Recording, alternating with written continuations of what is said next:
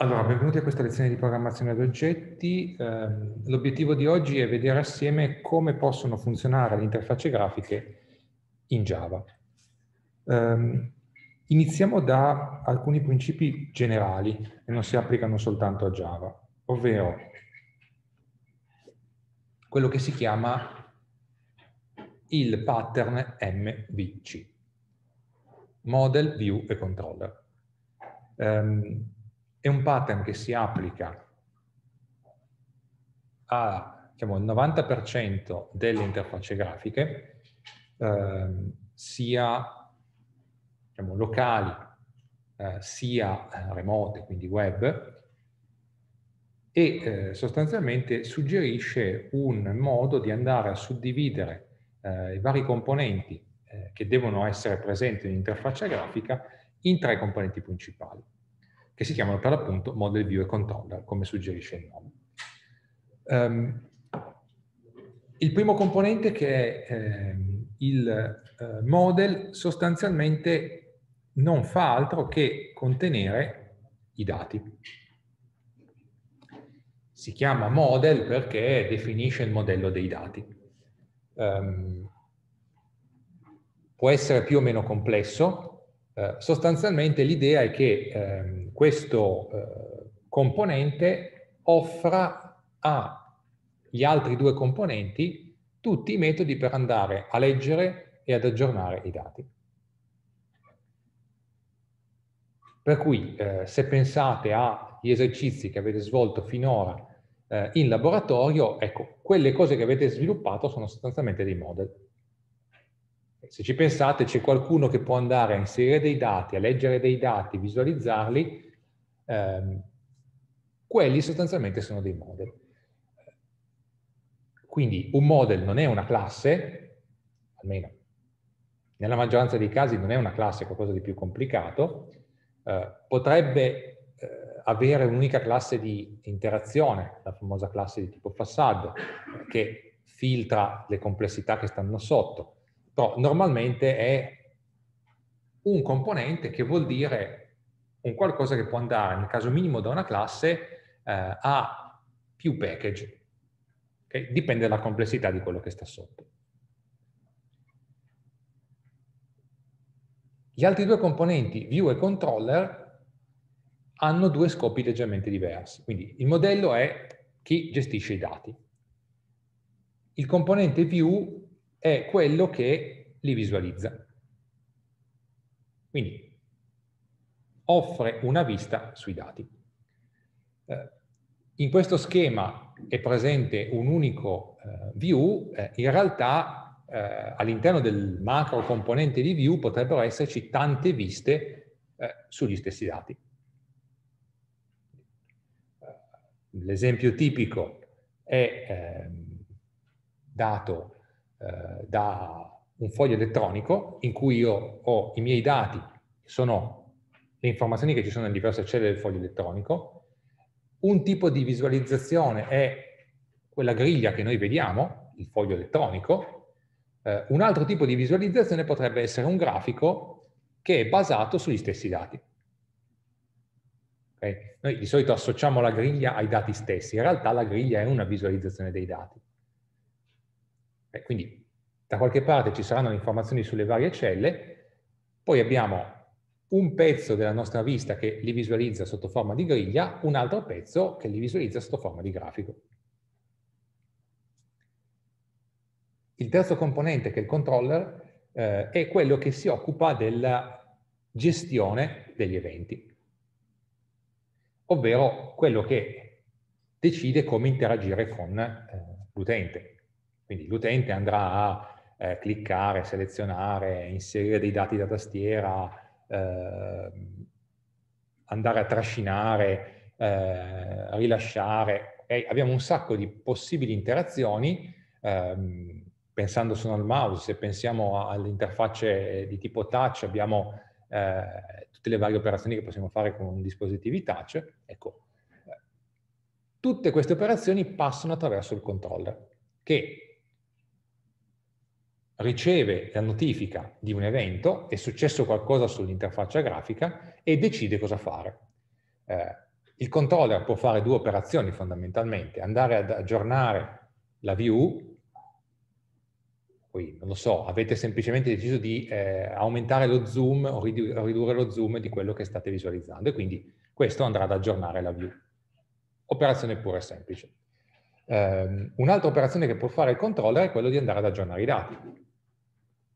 Quindi avete appena schiacciato uh, CTRL C e quindi il controller è andato a prendere dalla clipboard un dato e l'ha incollato dove eravate posizionati.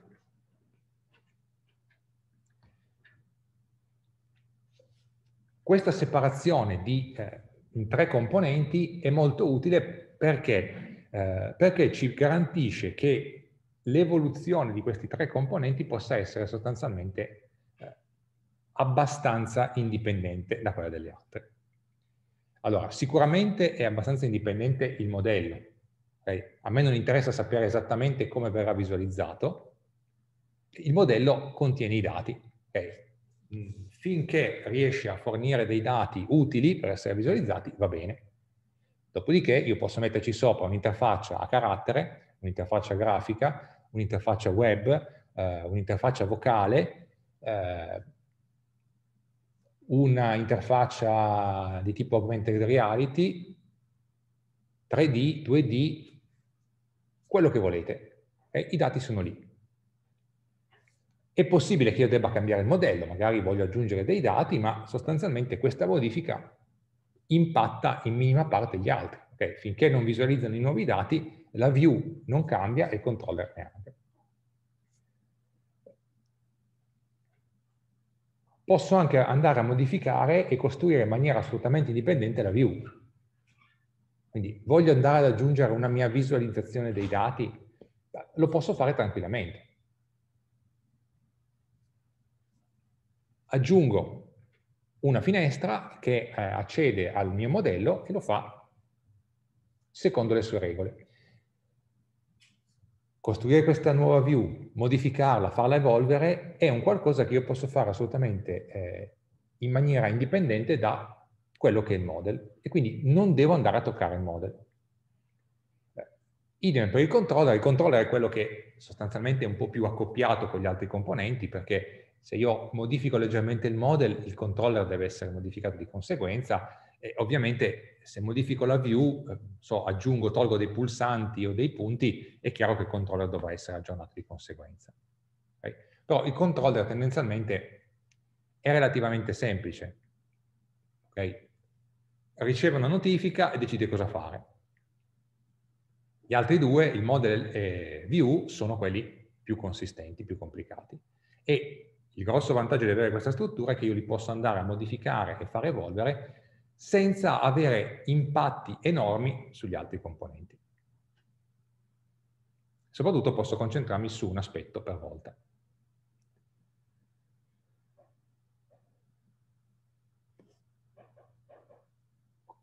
Quindi abbiamo visto che con le nostre conoscenze attuali di Java riusciamo a gestire il model, riusciamo a costruirlo, quindi abbiamo la necessità di andare a descrivere un certo tipo di dato, benissimo, abbiamo gli strumenti per andare a costruire un insieme di classi che siano in grado di rappresentarlo e di operare su questi dati.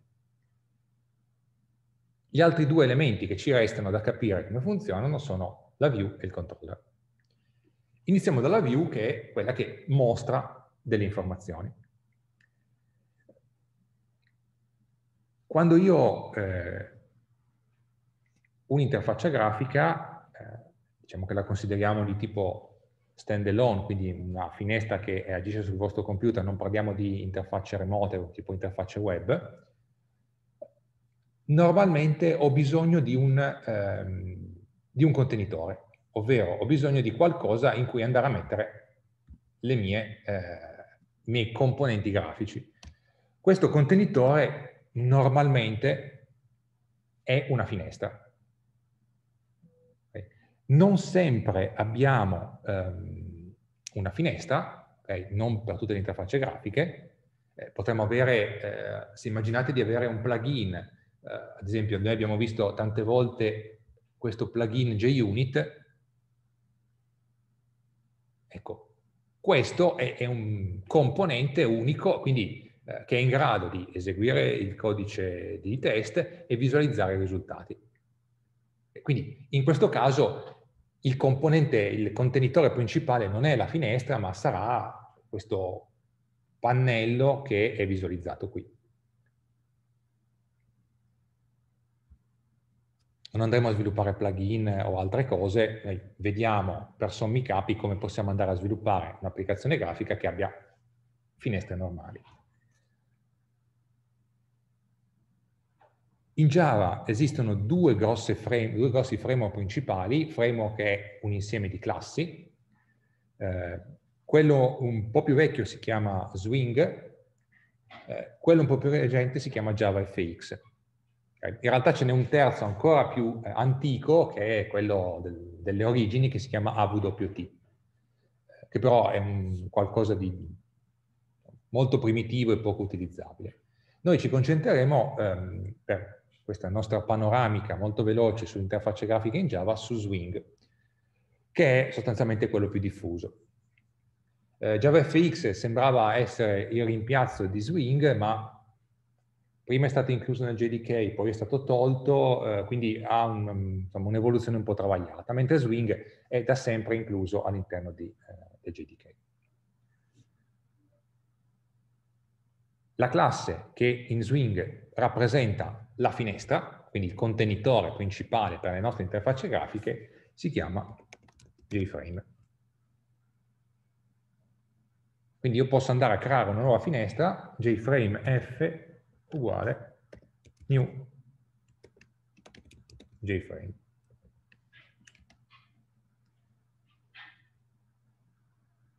Eh, ovviamente JFrame deve essere importato e eh, JFrame si trova nel package javax.swing.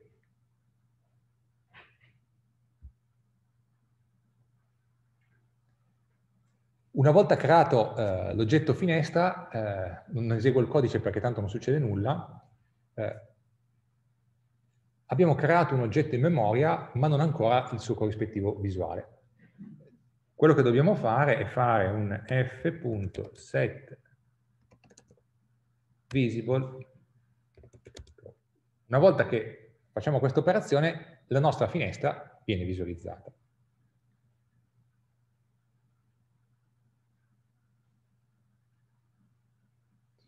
Ehm, allora, domanda. Ehm, All'inizio del corso si è detto che Java non è la scelta migliore per costruire applicazioni che andranno su desktop perché non è possibile generare file eseguibili. Eh, perché allora eh, esiste una classe che fornisce elementi per la gestione delle finestre desktop? Allora, ehm, io non ho mai detto che Java non, fatto, non va bene per costruire applicazioni desktop. Eh, in realtà funziona, eh, Eclipse e anche tante altre applicazioni sono basate su Java. Eh, quello che normalmente non si può fare in maniera semplice è prendere Java e generare un eseguibile. La distribuzione passa attraverso i file jar. Okay. Li avete visti eh, non creati, ad esempio i, i, test che io vi do eh, sono impacchettati dentro un file jar. Le vostre applicazioni potrebbero essere impacchettate dentro un file jar senza problemi. Quindi a questo punto io ho la possibilità di distribuire un'applicazione tramite jar Ovviamente ha bisogno di una Java Virtual Machine, ma ormai una Java Virtual Machine è quasi installata di default su quasi tutti i PC e quindi non è un grosso limite. È vero, d'altra parte, che buona parte delle applicazioni che si sviluppano oggi non sono eh, di tipo desktop. A meno che abbiate bisogno di un eh, di un'applicazione che usate soltanto voi, eh, buona parte delle applicazioni si inseriscono in un contesto molto ampio in cui andate a eh, utilizzare dei dati che possono essere prodotti, consumati da altri e quindi è necessario un ambiente di rete. E quindi in questo caso eh, è molto più semplice che un'applicazione eh, un vada a eh, gestire direttamente il tutto in maniera centralizzata, quindi avere un'interfaccia web, piuttosto di avere un'interfaccia desktop che eh, interagisce con un qualcosa di remoto. Okay. Eh, non sto a raccontarvi vantaggi e svantaggi, ma sostanzialmente se dovete aggiornare un'applicazione desktop eh, dovete scaricarvi nuova, il, insomma, il nuovo pacchetto e sostituirlo a quello precedente. Se dovete aggiornare un'applicazione web, non fate niente. La volta dopo che vi collegate, vedete la nuova versione. Che ovviamente non funzionerà perché è un aggiornamento, ma dopo qualche tentativo funzionerà. Quindi è immediato l'aggiornamento, cosa che non possiamo dire sulle applicazioni desktop. Applicazioni desktop sono anche le app che scaricate sul cellulare. Eh? Quante volte, se non avete l'aggiornamento automatico, dovete andare ad aggiornare le vostre applicazioni? Okay. Se invece vi collegate a un sito web, non dovete fare nessun aggiornamento. Viene aggiornato automaticamente.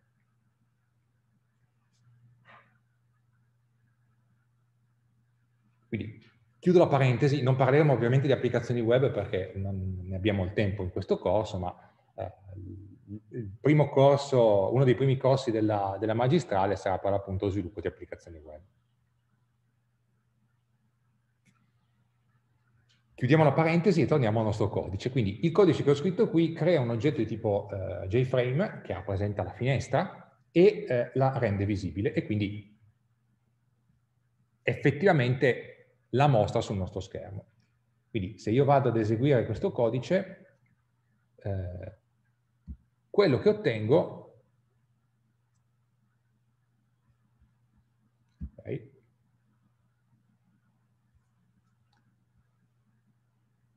è questo. Scusate, me l'ha aperto sull'altro schermo, ma... Ok? Se lo fate sul vostro eh, PC, eh, se non avete un Mac, avete ovviamente un aspetto leggermente diverso, ma sostanzialmente è una cosa così, minimale. D'altronde noi abbiamo creato, abbiamo chiesto a Java di crearci una finestra, però non gli abbiamo detto nulla. Le dimensioni, la posizione, ehm, il titolo, il, il, contenuto, il contenuto, eccetera, eccetera. E quindi il sistema operativo cosa ha fatto? Ha creato una finestra rendendola con le dimensioni minime, eh, perché ci stiano i pulsantini standard, non ha messo un titolo nella barra di testo eh, e quindi finestra minimale. Ovviamente ha tutte le funzionalità, perché se io vado a, a trascinare il bordo, questo ovviamente si ha. Posso espandere a tutto schermo, posso ridurre e posso chiudere. Okay.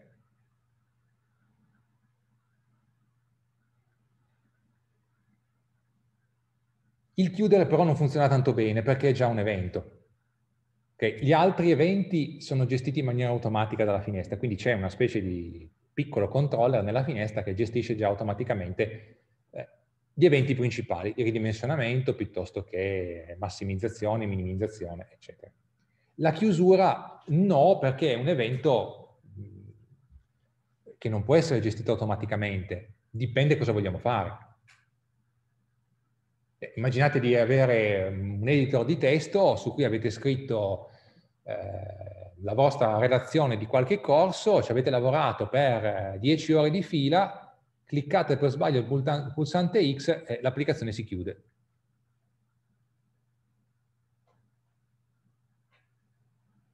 Non è un'esperienza piacevole. Quindi normalmente eh, la gestione della chiusura è un qualcosa che deve essere fatto esplicitamente da chi ha scritto l'applicazione.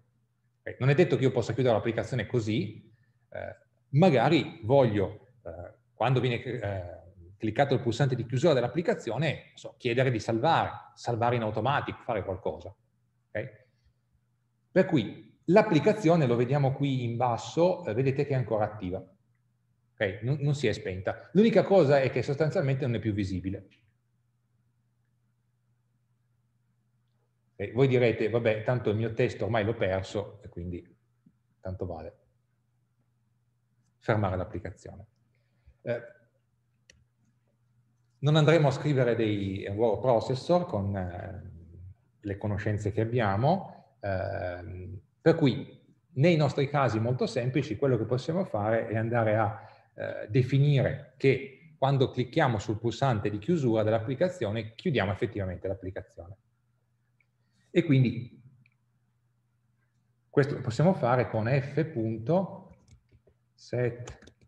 default close operation e qui andiamo a mettere un comportamento eh, di default per la chiusura, per l'evento di chiusura del, della finestra. Eh, lo possiamo fare con jframe, punto, eh, ci sono una serie di costanti definite nella classe jframe, eh,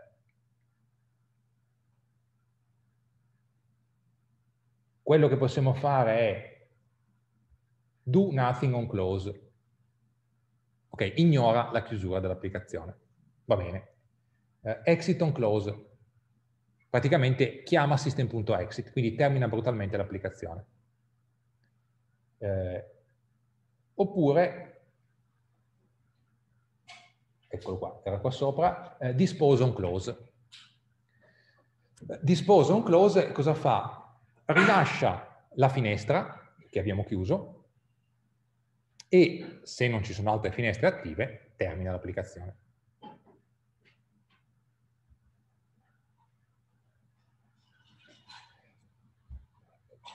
Perché sostanzialmente l'applicazione non termina quando io la riduco, quindi elimino la, la visibilità?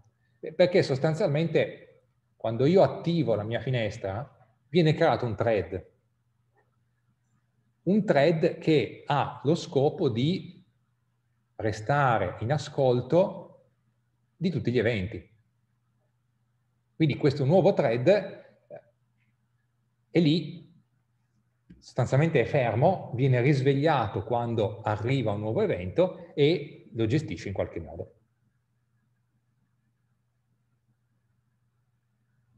E quindi l'idea è che eh, le applicazioni grafiche sono inerentemente multithreaded. C'è almeno un thread che viene attivato eh, dal main che gestisce gli eventi. Quell'unico thread è quello che gestisce tutti gli eventi, quindi se voi andate a fare eh, un clic a ripetizione su un pulsante, ecco, finché quel thread non ha finito di gestire il primo clic, non potrà andare a gestire il secondo. A meno che, arrivato al primo clic, voi facciate partire un nuovo thread in cui eseguite le operazioni e liberate il thread principale in modo che possa eseguire eh, andare a, scusate, a, elaborare gli altri, eh, gli altri eventi.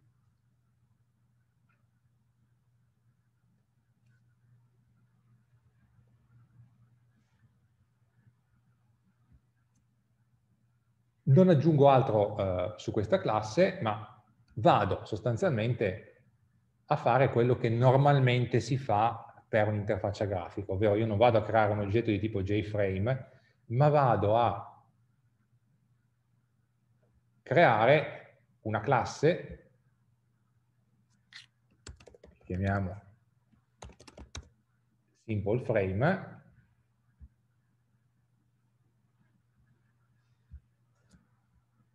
che estende JFrame. JFrame ovviamente come prima lo dobbiamo importare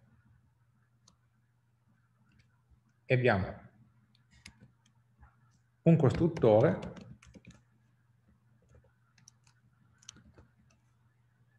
che si occupa di andare a inizializzare la finestra.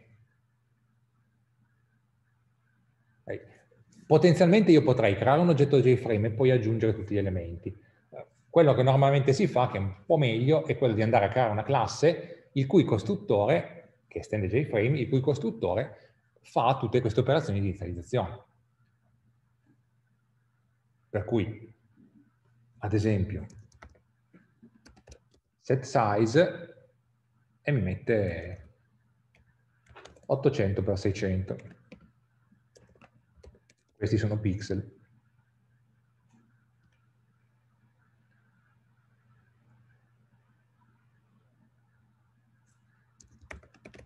Set title, esempio, frame, finestra.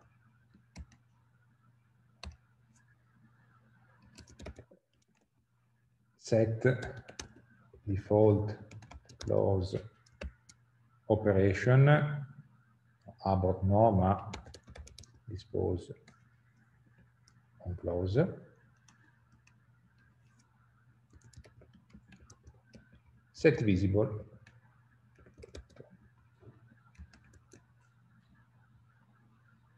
Quindi invece di andare a creare la, la, il JFrame e poi andare a operare su quello, ehm, qui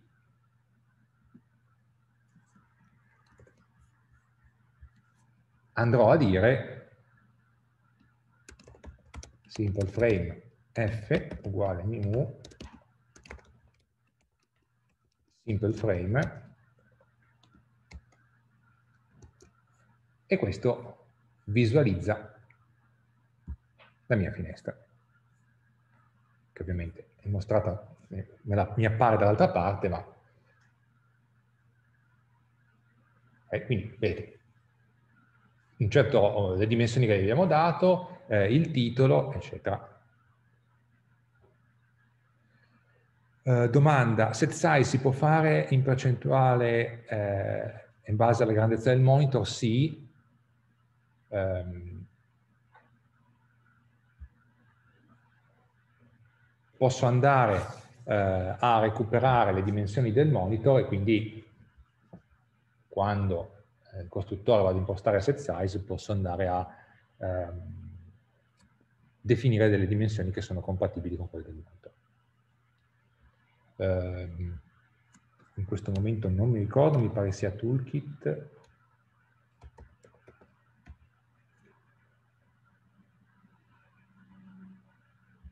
Get default toolkit punto ehm,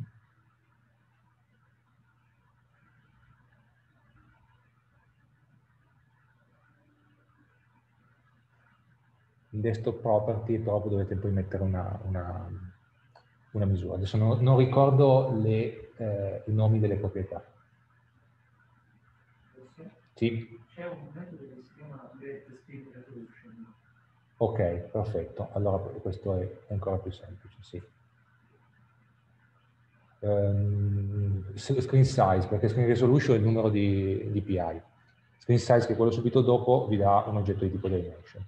Uh, dimension è un oggetto definito nel, nel, in AVT che vi dà delle dimensioni, quindi larghezza e altezza. Quindi se vogliamo farlo,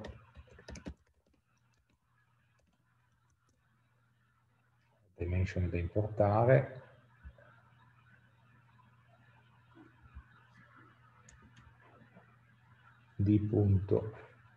width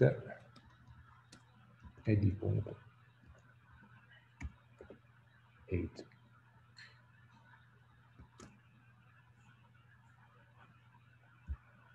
se lancio allora, riempie il mio schermo di là eh, che è diverso dallo schermo che vedete qua. Okay? è un po' più stretto questo qui è un po' più largo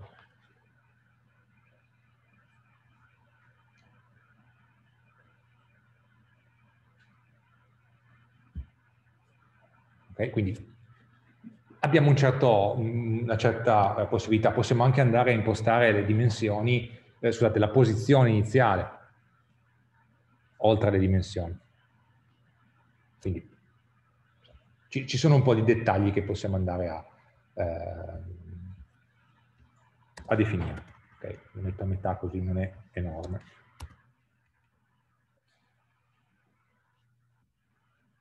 Quello che eh, viene dopo eh, è andare a inserire degli elementi all'interno della nostra finestra.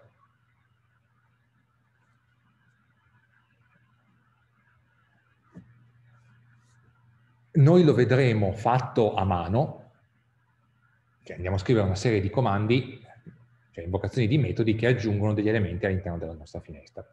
Eh, normalmente ci sono degli editor visuali che vi permettono di andare a lavorare eh, su una rappresentazione della finestra aggiungendo gli elementi eh, e eh, questi editor cosa fanno? Vanno a generare sostanzialmente il codice che noi scriviamo a mano. Quando abbiamo delle interfacce molto grandi, eh, ovviamente è molto più comodo fare così piuttosto che eh, a mano andare a scrivere ogni singolo elemento.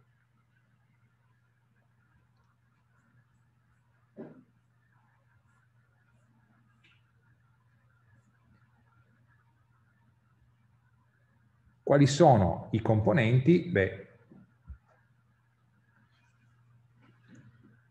esiste una classe di base che si chiama JComponent, eh, da cui derivano una serie di altre classi, quindi JComponent è quello che può essere aggiunto dentro la finestra. Avrà una posizione, una dimensione, alcune caratteristiche di base, tipo un colore, eccetera. Da questa classe eh, derivano una serie di classi, qui non ve l'ho messe tutte ma ve l'ho messe alcune, che eh, vanno a rappresentare gli elementi che costituiscono la nostra interfaccia. Quindi i singoli eh, componenti, si chiamano anche widget o controlli, eh, che possiamo inserire all'interno della nostra interfaccia. Eh, ne mettiamo qualcuno giusto come esempio. Quindi possiamo andare a mettere eh, un oggetto JLabel L uguale new JLabel, ad esempio nome,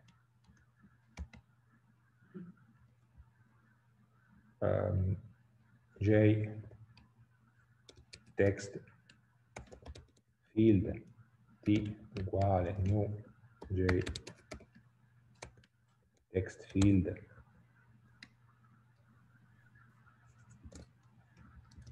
Venti adesso vi spiego il significato dei parametri. Uh, jbutton b uguale new. Jbutton. Ok Uh, sono tutte classi definite in Java X-Swing, quindi dobbiamo importarle tutte. JLabel, J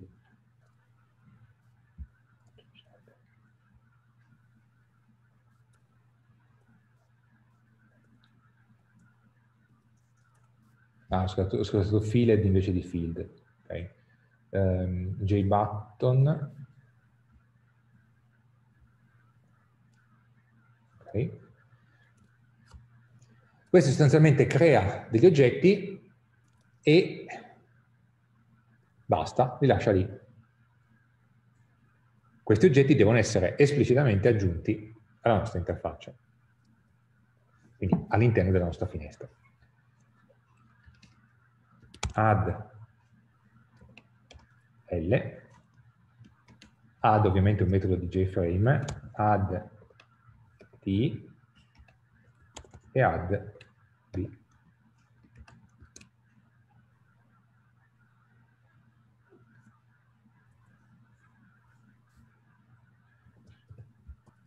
Risultato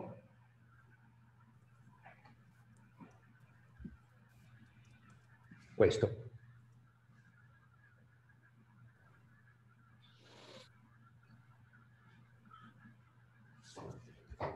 Ok, ma mica tanto, nel senso che dove sono finiti gli altri due componenti?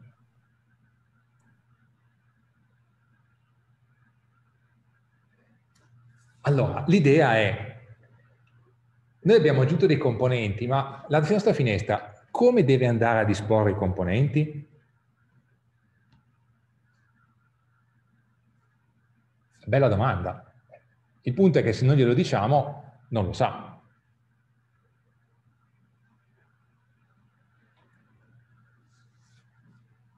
Abbiamo alcune possibilità. Possiamo noi, quando aggiungiamo un componente, andare a specificare esattamente eh, le coordinate in cui andare a posizionare questo componente. Coordinate ovviamente relative alla finestra stessa. Eh, questo però è, è, abbastanza complicato, richiede di andare a, a farsi un po' di calcoli, eh, quindi è un qualcosa che normalmente non si fa. Oppure possiamo andare a utilizzare quello che si chiama un layout manager, ovvero eh, una classe che si prende carico di andare ad aggiungere, secondo alcune regole che possono cambiare, eh, gli elementi che vengono aggiunti alla nostra interfaccia. Per cui quello che dobbiamo fare è fare un set layout manager e andare ad aggiungere un oggetto di una classe che implementa layout manager. Per cui ad esempio new flow layout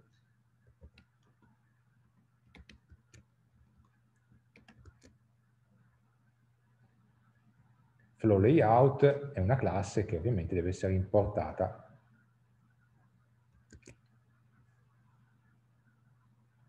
no, scusate, set layout, il metodo non set layout manager.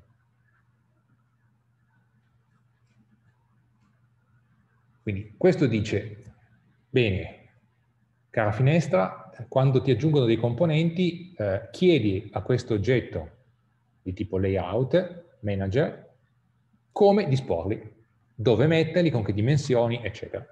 Per cui a questo punto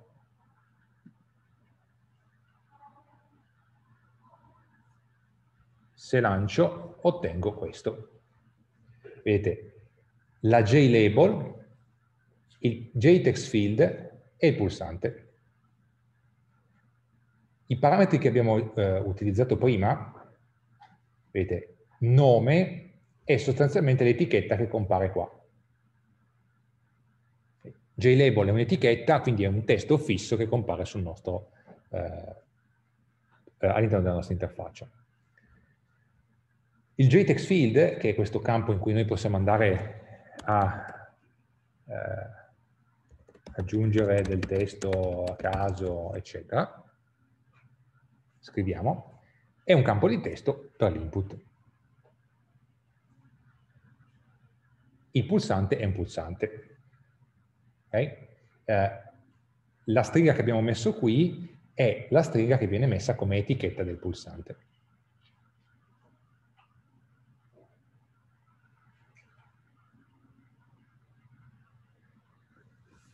Come sono stati disposti? Sono stati disposti secondo eh, i criteri del flow layout. Il flow layout che cosa fa?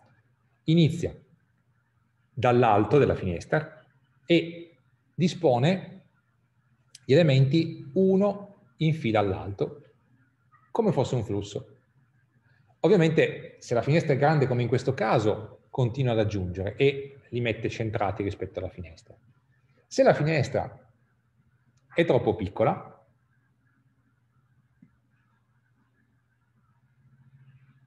che cosa fa? Va a capo.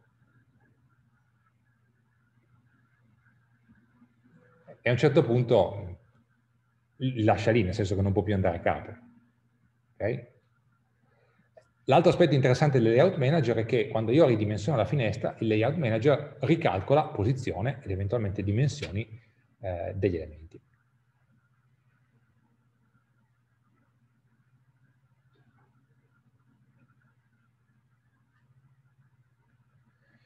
Eh, domanda, ehm, perché con layout funziona e senza no? Eh, allora, che cosa succede? Se io non metto il flow layout eh, e aggiungo un componente alla mia finestra, quel componente viene utilizzato come il contenuto della finestra. Per cui eh, nel caso dell'assenza di layout, i tre componenti erano effettivamente aggiunti uno dopo l'altro, ma l'ultimo aggiunto era quello che andava sostanzialmente a ricoprire gli altri. E quindi c'era questo grosso pulsante OK che andava a riempire tutta la finestra. Avendo un layout manager, che cosa succede? Che eh, l'operazione di add all'interno della finestra viene fatto chiedendo al layout manager dove e con che dimensioni andare a piazzare gli elementi.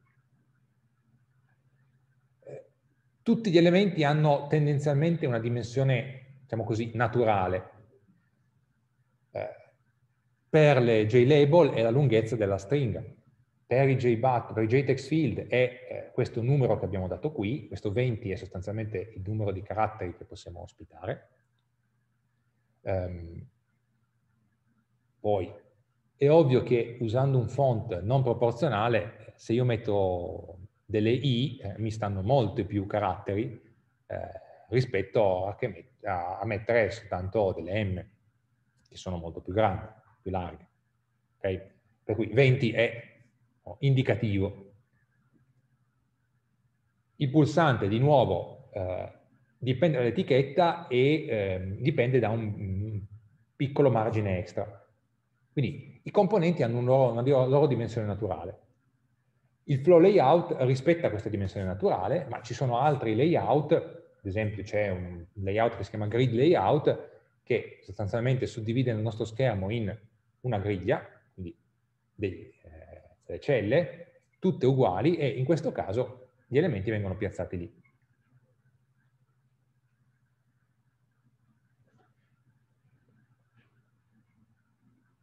Sì.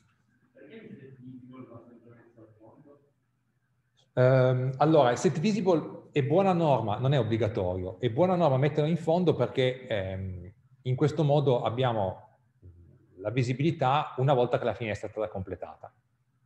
Eh, altrimenti eh, l'aggiunta di nuovi elementi potrebbe essere fatta mentre la, la finestra è visualizzata.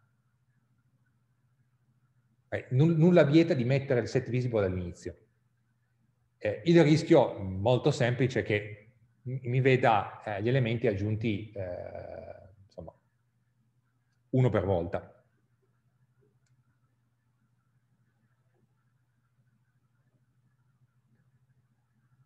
Okay? Um, tanto per farvi un esempio, io posso mettere set visible qua su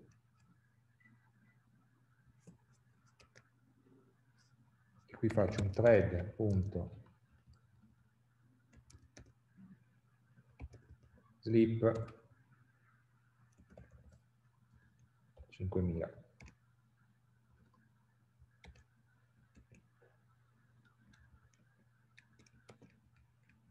un altro qui e un altro qui.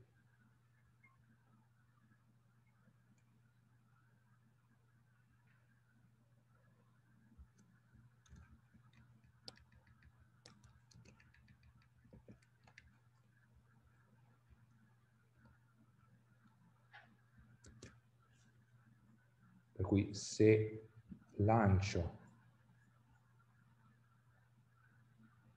allora, ovviamente gli oggetti li ho messi dopo.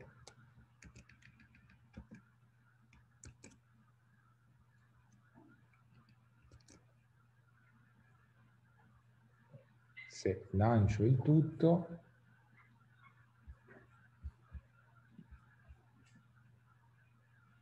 eccolo qua, adesso dovrebbe apparirmi,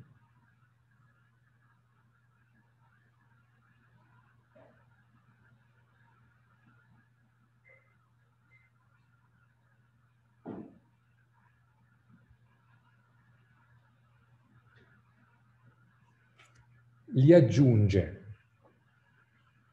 ma la finestra nessuno uh, dice di rivisualizzarla. Quindi sostanzialmente gli elementi sono aggiunti, eh, allora lo possiamo fare di nuovo andando a modificare la finestra.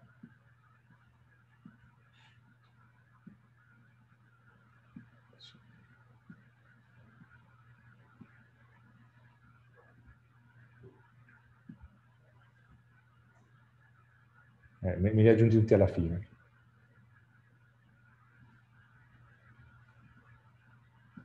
E quindi li aggiunge dopo e soprattutto ehm, se io non ridisegno la finestra eh, non me li fa vedere.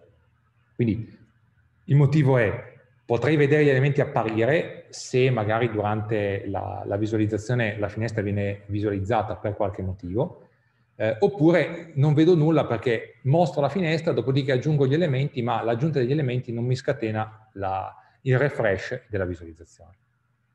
Quindi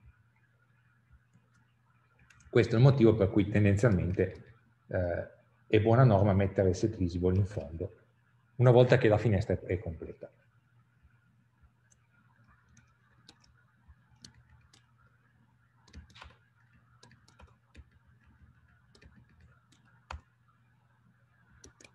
Ok. Um, domanda, uh, se Simple Frame estende JFrame, non dovrei mettere super all'inizio eh, qui? Eh, allora, no, eh, in generale quando io ho l'ereditarietà non ho la necessità di aggiungere super eh, perché, tra virgolette, è come se fosse aggiunto in maniera automatica.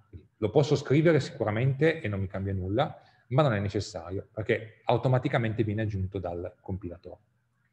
Eh, il super è necessario quando io voglio passare dei parametri esplicitamente al costruttore della mia classe di base. Allora devo scrivere super e dentro parent nelle parentesi andare a mettere i parametri. Altrimenti è un qualcosa che è implicito. Um,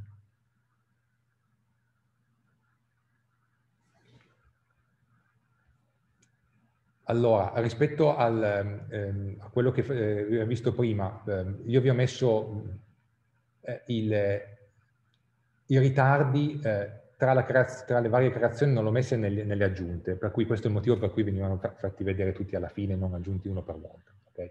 Eh, no, non sto a rifare l'esercizio di prima, però se gli slip li, li, metto tra questi add dovreste vederli eh, comparire. Um,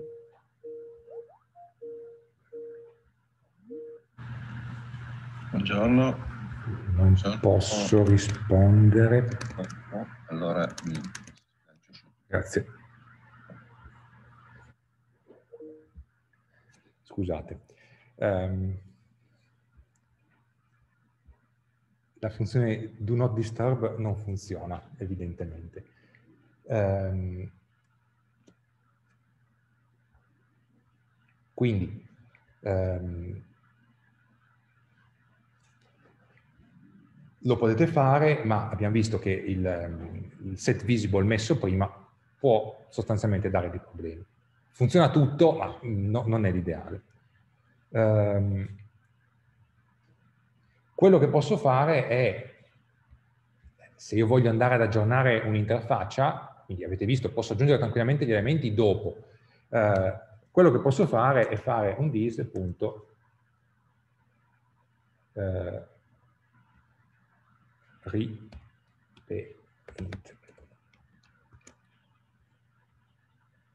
Repaint sostanzialmente forza la, um, il ridisegno della nostra finestra.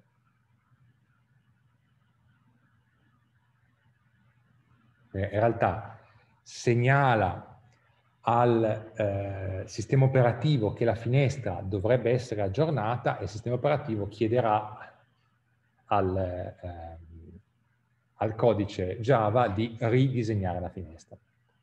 È, è un giro un po' lungo, ma eh, non, non, è esattamente un ridisegno esplicito. Okay? Perché deve essere tutto ovviamente iniziato dal sistema operativo, che è quello che poi gestisce la visualizzazione finale. Okay? Le barre eh, del testo, i bordi, eccetera, eh, non sono disegnati esplicitamente dalla, eh, direttamente dall'applicazione dall Java, ma sono delle richieste fatte da Java al sistema operativo. Quindi questo sostanzialmente forza un rinfresco della eh, graphical user interface.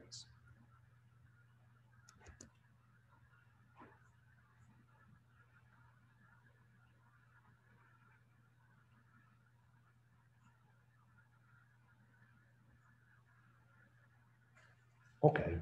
Um, questi sono gli elementi fondamentali, ne abbiamo visti eh, ne abbiamo visti elencati alcuni altri, per cui abbiamo ad esempio JPanel piuttosto che, ehm, aspettate che vi riporto qui, ehm, JPanel, JList. JPanel è sostanzialmente eh, un contenitore di componenti. Quindi posso andare a sistemare i componenti eh, all'interno di questo panel che li raggruppa. Il panel a sua volta può utilizzare un layout manager e quindi posso avere una composizione di diversi layout. Eh, non sto a farvi eh, l'elenco di tutti eh, i componenti, eh, ce li avete sulle slide e eh, sull'interfaccia. Eh, vi richiamo velocemente un paio di layout, oltre al flow layout che abbiamo visto, mette gli elementi uno dopo l'altro, ehm, esiste il grid layout che dispone gli elementi secondo una griglia. Ovviamente devo andare a specificare il numero di righe e il numero di colonne. E ehm, successivamente abbiamo eh, il border layout che eh, ha gli elementi disposti in questo modo. Quindi abbiamo due elementi che si chiamano north e south che sono sopra e sotto, eh, e poi abbiamo elementi che si chiamano west, center e east che sono nella fascia centrale e sostanzialmente vanno a costituire una specie di bordo.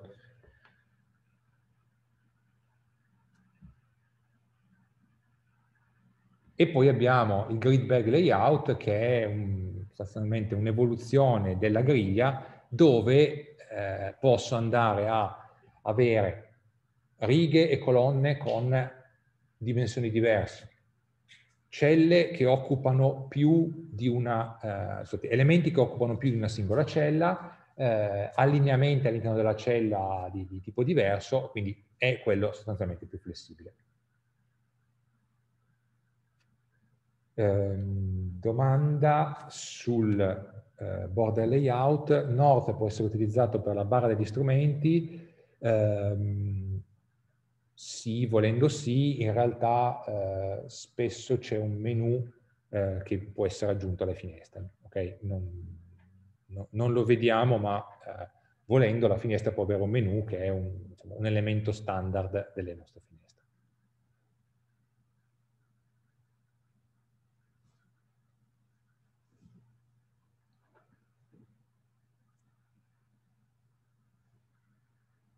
Perfetto. Uh, detto questo, se torniamo al nostro pattern di partenza, cioè l'MVC, abbiamo visto il model li possiamo costruire come vogliamo, la view abbiamo visto che normalmente si basa su un contenitore principale e su elementi che vado ad aggiungere, e poi abbiamo il controller che è quello che si occupa degli eventi. Come funzionano gli eventi. Allora, l'aspetto fondamentale da eh, tenere presente quando noi andiamo a gestire, andiamo a costruire un'interfaccia grafica, è che a differenza di tutti gli esempi che abbiamo visto finora, dove l'ordine di esecuzione degli, delle istruzioni è predeterminato, io ho un main con al suo interno una serie di eh, chiamate a funzione, eh, e vengono fatte, chiamate a funzione, chiamate a metodo, e vengono fatte nell'ordine in cui sono elencate. Finite quelle, finito il programma. Quando abbiamo a che fare con un'interfaccia grafica, il eh, flusso di esecuzione dei metodi non è predeterminato. Dipende dall'ordine con cui verranno eh, premuti i pulsanti o con cui verranno generati gli eventi di interazione con l'utente. Ovviamente all'interno di un metodo i singoli passi verranno fatti sempre nello stesso ordine, ma in generale l'ordine tra i vari metodi che eh, compongono il nostro sistema non è noto in partenza. Per cui posso prima caricare un file e poi salvarlo, oppure posso fare il viceversa. Per cui l'idea è, eh, devo andare a eh, avere un meccanismo che mi permetta di gestire per l'appunto gli eventi. L'evento è quello che avviene tra l'utente e l'interfaccia e che viene segnalato alla nostra applicazione in modo che possa gestirlo.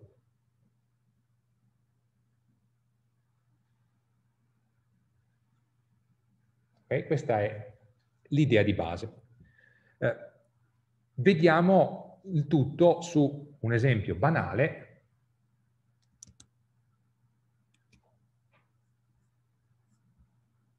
in cui andiamo a costruire i vari componenti.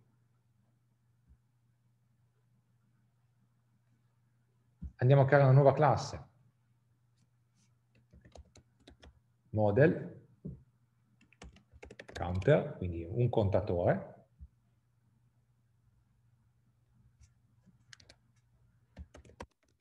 Private int valore. public get public int get valore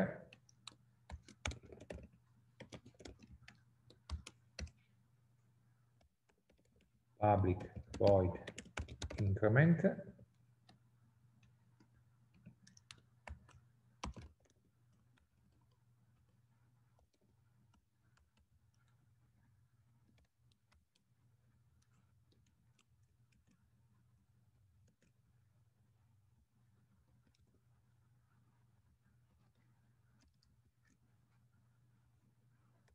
if il valore è maggiore di 0.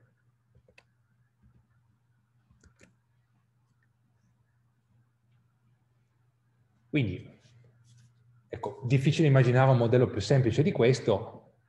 L'unico dato è un valore intero, ecco, forse potevamo mettere un valore booleano eh, per cambiare il valore, ehm, per farlo ancora più semplice, ehm, e il get valore sostanzialmente eh, restituisce questo oh, dato e abbiamo incremento e decrement che permette di incrementare e decrementare il nostro, eh, il nostro valore.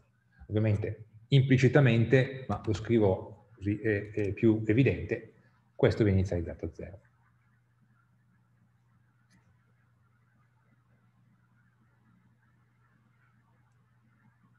Ok? Uh, new class. E andiamo a mettere view. Counter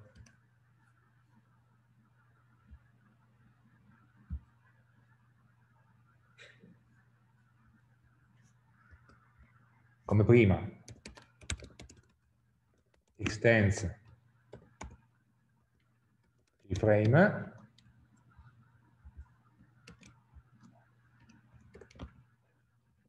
public viewCounter e qui andiamo a mettere i nostri vari pezzettini. Um,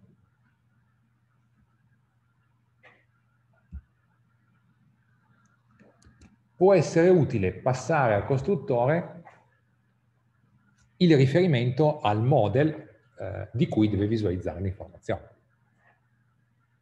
Per cui qui potremmo passare model counter.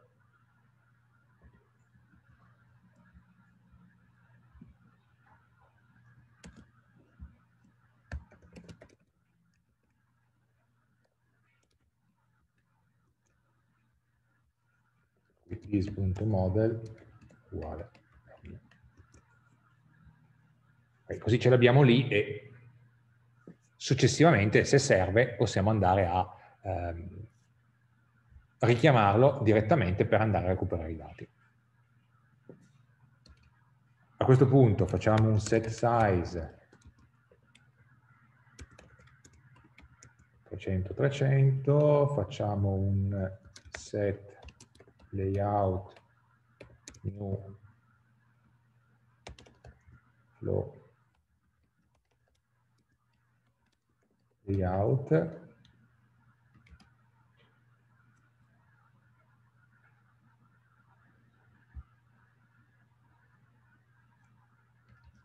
Set. Default. Close operation. Dispose on close. E set. Visible. Um, è possibile che voi troviate in giro um, invece di set visible show. Uh, show era presente nelle prime versioni di, di Swing, um, adesso è deprecato. Okay? Però il funzionamento è lo stesso. Okay? Show eh, equivale a set visible to. Però per evitare metodi deprecati non lo utilizziamo. Uh, allora, in generale, mh, abbiamo visto alcuni esempi di metodi deprecati qui e là durante i nostri esercizi. Uh, L'idea di base è um, quando un metodo è sostituito da altri o comunque è meglio non, è, non utilizzarlo, viene dichiarato come deprecato.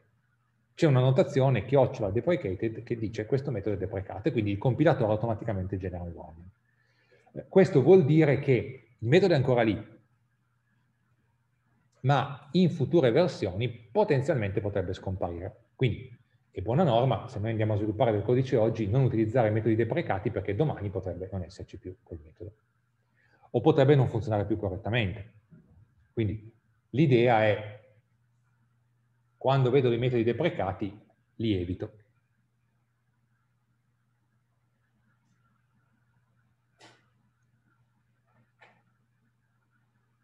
Allora, eh, andiamo a costruire eh, quella che è la nostra interfaccia grafica. Che cosa mettiamo? Mettiamo eh, un pulsante per incrementare, un pulsante per decrementare e eh, una label che contiene il valore attuale nostra, del nostro contatore. Visto che questi pulsanti, questi elementi potranno essere utilizzati eh, non soltanto nel costruttore ma eventualmente anche in altri metodi, è di solito buona norma andare a mettere i componenti non come variabili locali nel costruttore ma metterli come attributi della nostra classe. Quindi andremo a mettere un eh, JButton incremento uguale new gbutton, un altro gbutton decremento uguale new gbutton, qui potremmo andare a mettere più e meno come etichette per questi due pulsanti, eh, gbutton ovviamente deve essere importato, e poi andiamo a mettere una JLabel valore uguale new JLabel. Inizialmente metto un punto interrogativo perché non sappiamo qual è il valore del nostro eh, contatore. JLabel come gli altri deve essere importato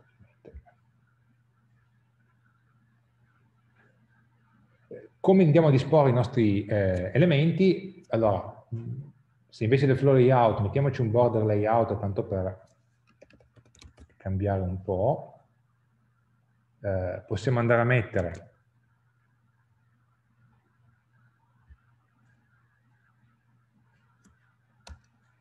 nella parte nord, vi ricordo che il border layout è fatto così.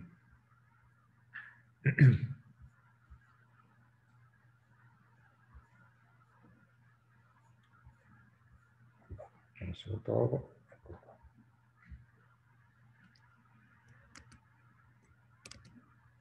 Il border layout è fatto così, eh, c'è un, un, componente nord, eh, sud e center, quindi possiamo mettere i due pulsanti nord e sud e nel center mettere nostro la nostra etichetta con il valore. Um, ovviamente quando facciamo un'operazione di add e il layout di tipo border layout, possiamo andare a specificare un ulteriore parametro che è la posizione in cui andare a mettere il nostro elemento. Eh, mentre nel flow layout gli elementi vengono messi uno dopo l'altro, in questo caso invece ci sono queste eh, cinque posizioni ben definite, per cui aggiungendo vogliamo farlo nella posizione esatta. Per cui ehm, add, abbiamo il pulsante di incremento che va in border layout.north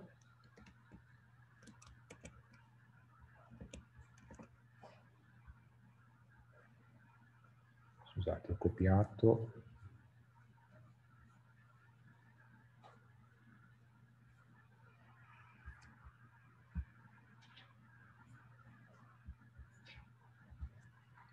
Decremento e valore, quindi il decremento sta nel south e il var sta nel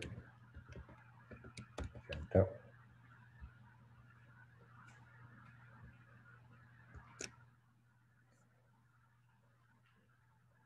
E quindi volendo mettere assieme questi due elementi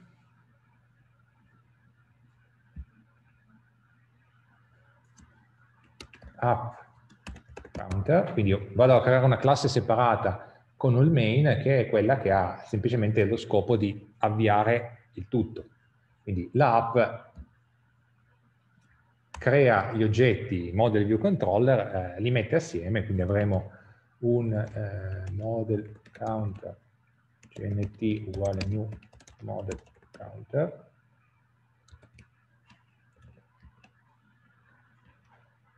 abbiamo model view view uguale new model view e gli passiamo il counter.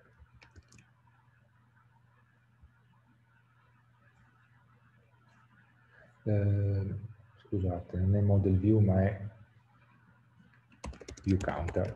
Ecco.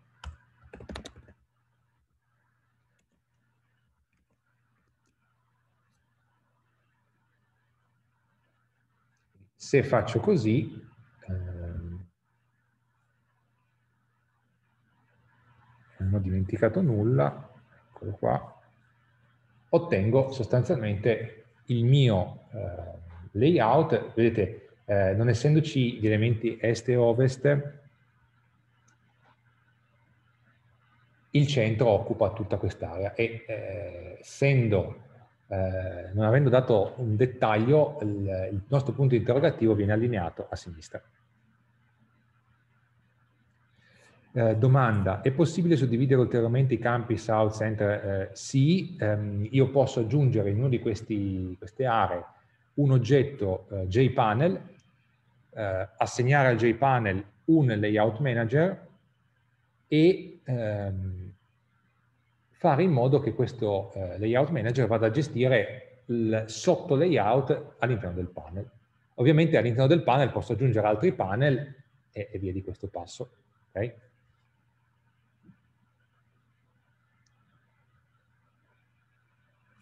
Ehm, domanda, perché eh, gli elementi li abbiamo messi come privati qui? Ehm, non li ho messi come privati perché, eh, velocemente, potenzialmente questi potrebbero essere utili, eh, non privati, per andare a fare operazioni di test. Eh, però ci arriviamo dopo.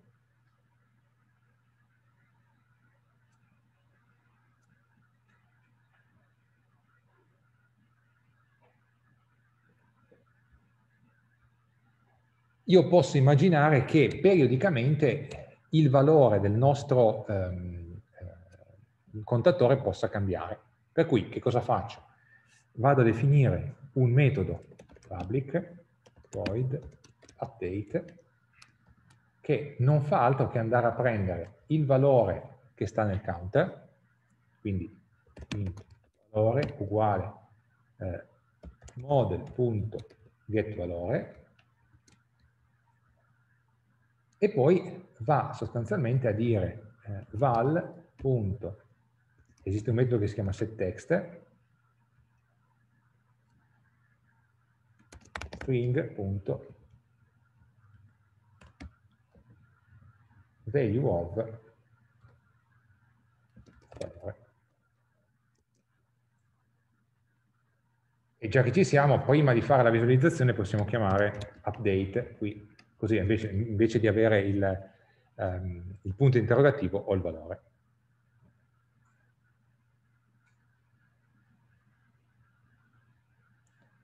Eh, domanda, i pulsanti più o meno vengono entrambi in alto attaccati? Eh, allora, attenzione, eh, rispetto alla versione iniziale io qui ho messo un border layout. Inizialmente avevo messo un flow layout che quindi me li mette di uno di seguito all'altro. Eh, se volete possiamo vedere l'apparenza diversa se vado a utilizzare un flow layout.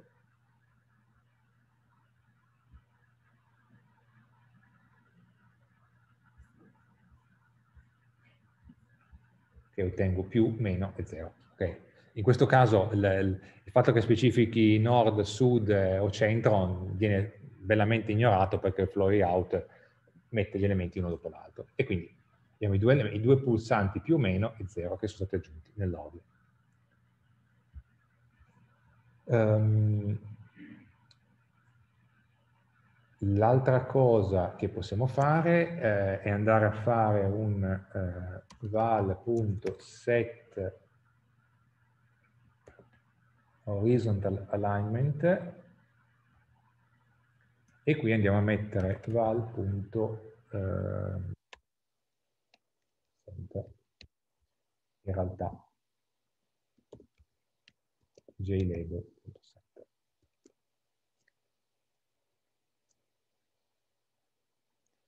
possiamo anche andare a mettere, eh, andare a modificare il font, la dimensione, eccetera, però è un passaggio in più. Um,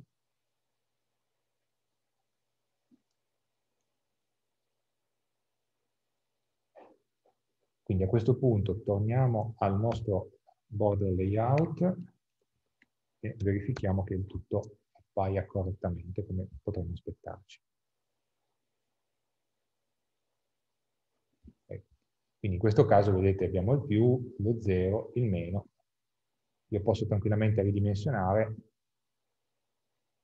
senza problemi. Per cui il grosso vantaggio di avere un, board, di avere un layout manager è che non devo andare a eh, fare calcoli, mh, scelgo il layout che più mi piace e che più eh, va incontro alle mie esigenze, metto gli elementi e automaticamente disposizione e tutto sono calcolati automaticamente. Se voi doveste andare a piazzare gli elementi in posizioni fisse, quindi dando veramente le coordinate delle dimensioni, o, no, o evitate di ridimensionare la finestra, oppure eh, dovete andare, quando c'è un ridimensionamento, a ricalcolarvi dimensioni e posizioni, perché è molto complicato.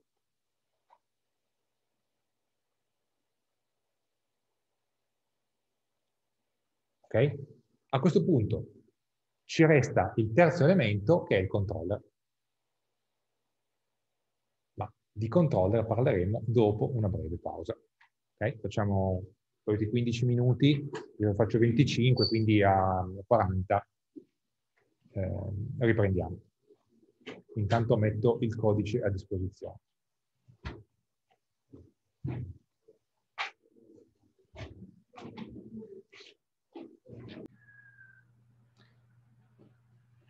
L'ultimo passo che ci manca per risolvere, eh, per poter andare a sviluppare la nostra interfaccia grafica è la gestione degli eventi.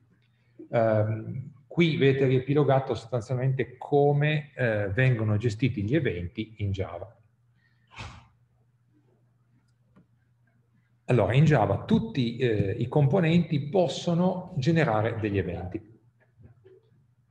Okay, quindi a differenza, eh, cioè, a, in base al tipo di, di, eh, di, componente possono essere generati diversi tipi di eventi. Per cui un pulsante può generare un evento di tipo action, event, che corrisponde alla pressione al clic sul pulsante. Eh, ho altri eh, tipi di eventi, per cui ho gli eventi di spostamento del mouse, di pressione e rilascio di un tasto, eccetera, eccetera. Come vengono gestiti gli eventi in Java? C'è un meccanismo di delega, per cui io eh, segnalo a un certo componente che quando, eh, viene, quando riceve un particolare evento, quell'evento deve essere delegato a qualcun altro. Quel qualcun altro sarà ovviamente il nostro controllore. Quindi eh, la procedura è innanzitutto vado a registrare un oggetto che si chiama listener, che è quello a cui delegare poi eh, l'esecuzione eh, vera e propria, la gestione vera e propria dell'evento, chiamando il metodo add listener sul nostro componente. Per cui se abbiamo un pulsante e vogliamo andare a registrare un listener per, la, per gli eventi tipo action, andrò a chiamare il, il metodo che si chiama addActionListener. Un listener è un eh, oggetto che implementa l'interfaccia listener corrispondente. Eh, diciamo, alcune, alcune interfacce listener sono funzionali, nel senso che hanno un unico metodo, altre sono un po' più complesse, vado a creare questi oggetti e questi oggetti verranno chiamati quando si verifica il particolare evento. Quindi eh, una volta registrato il listener, eh, se io faccio un clic sul pulsante, eh, questo scatena eh, la creazione all'interno del nostro componente di un nuovo oggetto di tipo action event, quindi eh, un oggetto di tipo event eh, contiene la descrizione dell'evento, su quale oggetto è stato fatto, eh, le, la posizione, se si tratta di, di un uh, evento di mouse, uh, il timestamp, quindi l'istante in cui è stato generato, più altre informazioni, queste vengono impacchettate dentro questo oggetto event che viene poi inviato eh, al listener chiamando il metodo actionPerformed e passandogli l'oggetto event. All'interno di questo listener faccio quello che voglio. Rispondo all'evento come meglio credo.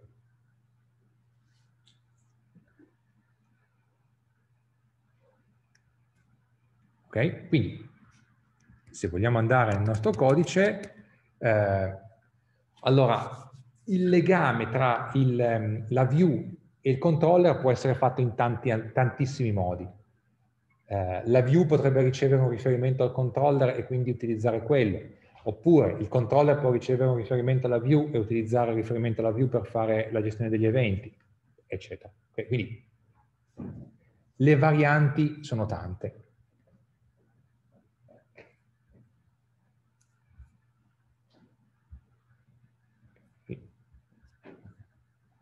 Andiamo a creare un oggetto controller, eh, vi sto creando tre classi diverse, ma ovviamente avete visto sono veramente banali, avremmo voluto mettere tutto all'interno di un'unica classe. Quindi questo è il controller. Counter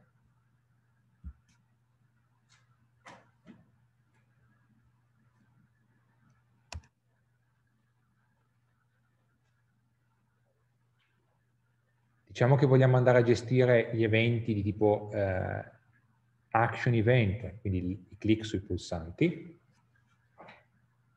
E abbiamo il nostro chiamato controller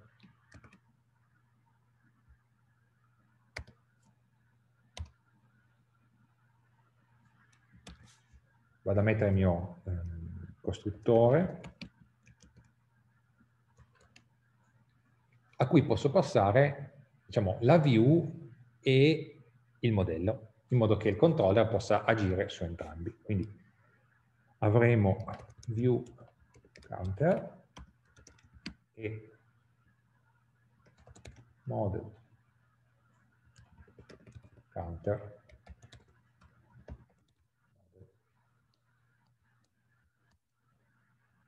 this.view uguale a view ed is.model uguale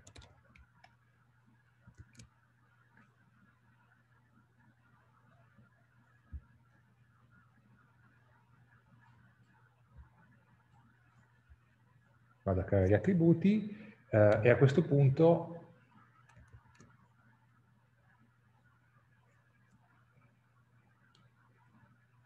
vado a gestire gli eventi. Quindi view.increment.add action listener e qui devo andare a mettere un oggetto che implementa l'interfaccia action listener.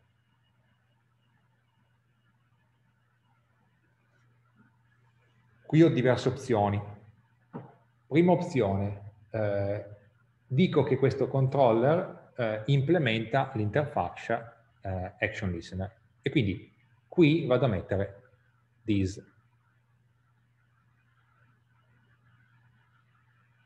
Opzione 2, visto che eh, action listener è un'interfaccia funzionale, vado a scrivere il tutto come una lambda.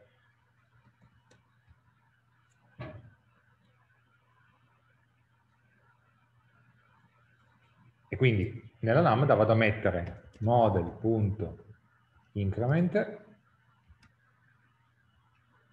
e poi vado a dire view.update.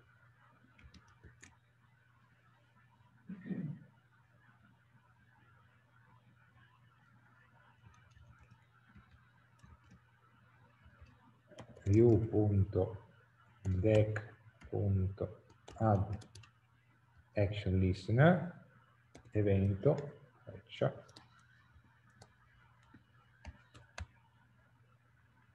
model.decrement view.add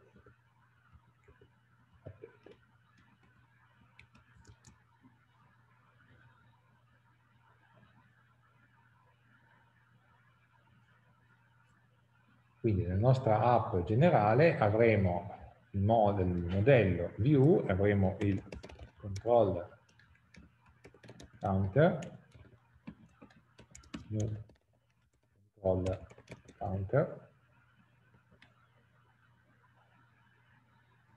eh, e nell'ordine abbiamo la view e il modello.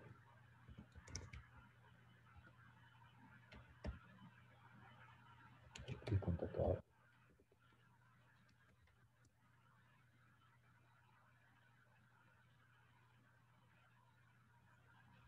A questo punto possiamo lanciare la nostra applicazione e se non ho commesso errori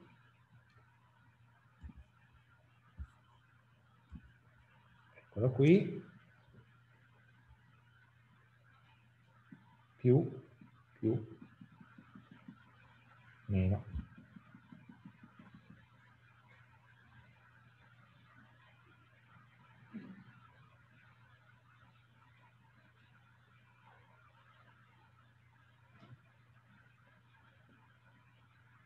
Ok?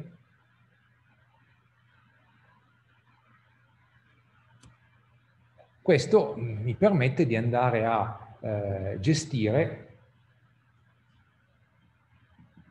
gli eventi in qualche modo. Ovviamente posso aggiungere altri eventi, per cui posso avere i click, posso avere eh, i tasti premuti sulla tastiera, eccetera.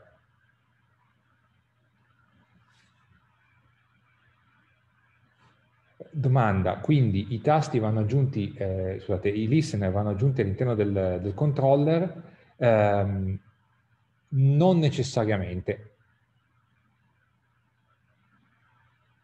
Okay? Questo è quello che è comodo fare in questo caso, potrei aggiungere i listener eh, andando a specificare l'intero controller, però questa è la cosa più, più ragionevole da fare, non c'è una regola generale. Um, domanda sul view. Quando io faccio il set text eh, in realtà vado a cambiare il contenuto ma eh, non segnalo che si debba andare a aggiornare la visualizzazione. Eh, quindi potenzialmente potrebbe esserci il stesso problema con l'AD, eh, il set text in realtà è, è, è utilizzato ehm, in modo da eh, garantire che il contenuto sia poi modificato. Okay?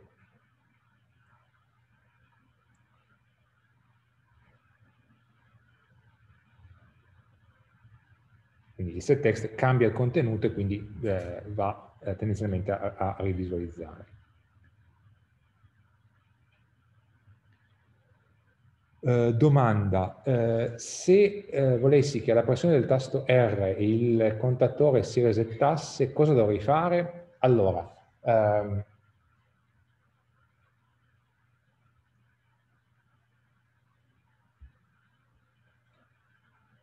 per come è fatto il modello, um, non posso fare un reset. Okay? Quindi volendo fare un reset dovrei avere ovviamente il mio modello public void reset valore uguale a 0.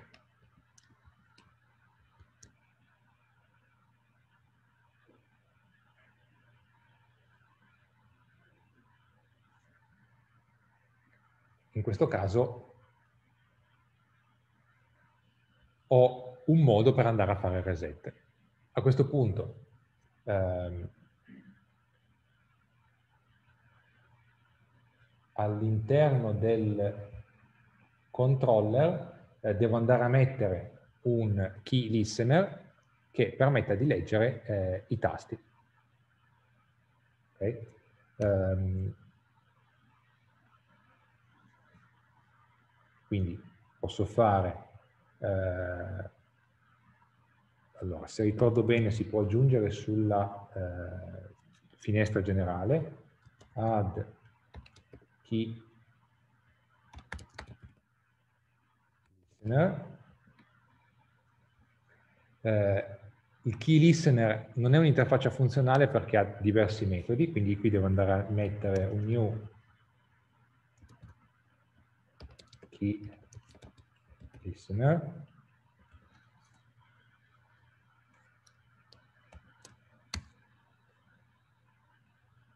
E qui devo andare, vabbè, ovviamente, a importare l'interfaccia e poi ad aggiungere i metodi non implementati. Ecco, vedete che il key listener ha questi tre metodi, key typed, key pressed e key released, eh, che sostanzialmente corrispondono a eh, typed vuol dire che io ho premuto un tasto, normalmente un tasto che abbia una corrispondenza. Eh, chi prest eh, riceve l'evento di singolo tasto premuto e released quando io rilascio il tasto.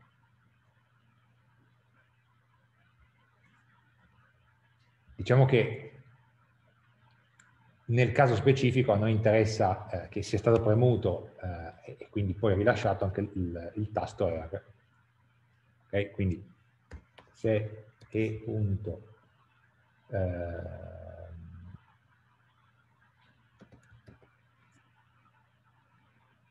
get key char, quindi mi dà il carattere associato al, al tasto, è uguale a R, allora qui andrò a fare model.reset. Allora, adesso verifichiamo se funziona perché dipende dal componente che ha il focus. Allora, c'è un errore da qualche parte. Ah, qui manca un punto virgola.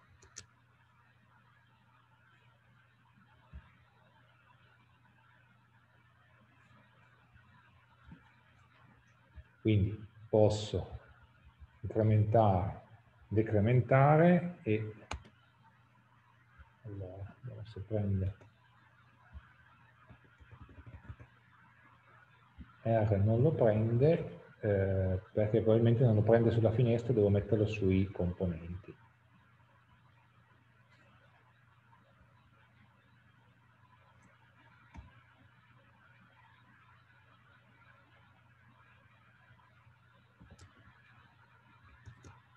Non so quale componente, eh, manca un update, giustamente, potrebbe essere quello.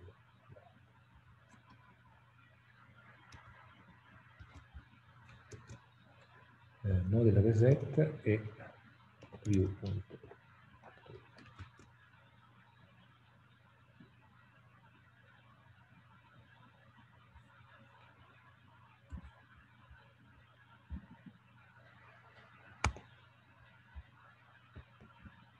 anche l'R non gli piace, nel senso che ehm, eh, l'evento viene preso probabilmente dal pulsante e non dalla, dalla finestra. Ok, quindi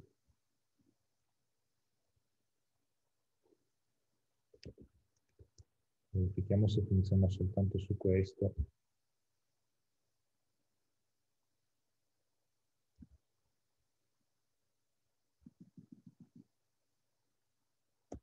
Ecco, in questo caso sì, vedete che l'ho messo su quello e quindi eh, avendo, essendo il, il, componente in questo momento ehm, che ha il focus, è lui che riceve l'evento di tastiera. Qui se faccio un meno, vedete che non fa nulla l'R perché l'evento viene mandato a questo pulsante che è quello attualmente ehm, eh, col focus.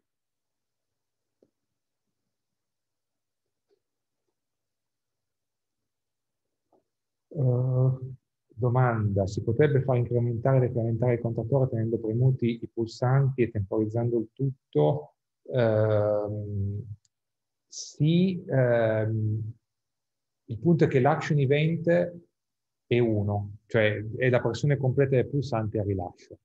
Eh, dovrei andare a intercettare degli eventi più di basso livello, cioè il pulsante premuto, e quindi a quel punto far partire eh, un meccanismo che fino che ogni 5 millisecondi, ogni 500 millisecondi, incrementa finché il pulsante non viene rilasciato. Però ovviamente... Eh, domanda, qual è la differenza tra key-typed e key... Key-typed vuol dire che io mh, essenzialmente inserito un carattere, quindi ho premuto e rilasciato il tasto e eh, è come se avessi inserito il tasto, quindi se, sono, se sto scrivendo in un'area di testo eh, ho inserito quel carattere. Eh, key pressed vuol dire che io ho semplicemente premuto il pulsante, key released vuol dire che io l'ho rilasciato. Eh, key pressed e key released servono più che altro non per i tasti normali, ma eh, per i tasti di controllo, quindi shift, control, eccetera, in cui mi interessa effettivamente sapere se è stato premuto o meno. E quindi settare dei flag per fare altre operazioni particolari. Sui tasti normali, il, eh, i tasti che corrispondono a caratteri eh, stampabili, normalmente quello che si fa è di andare a utilizzare un key type.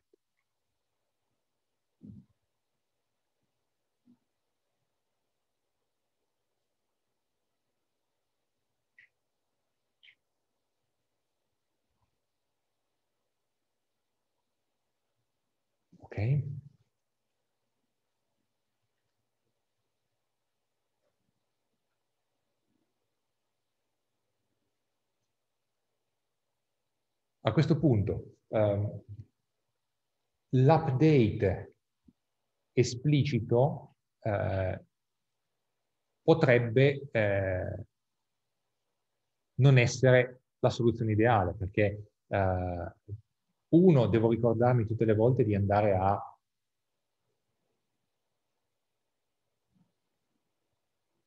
modificare, a fare un update. Due, potrei avere degli update che vengono fatti, scusate, delle, del, dei cambiamenti all'interno del mio eh, model che eh, non sono legate all'interfaccia, ma sono legate ad esempio al tempo. Immaginate avere un, un timer che avanza ecco, io vorrei che ogni secondo fosse aggiornato il tempo. Quindi, a volte conviene avere un meccanismo che permetta di andare a notificare alla view che qualcosa all'interno del nostro eh, model è variato.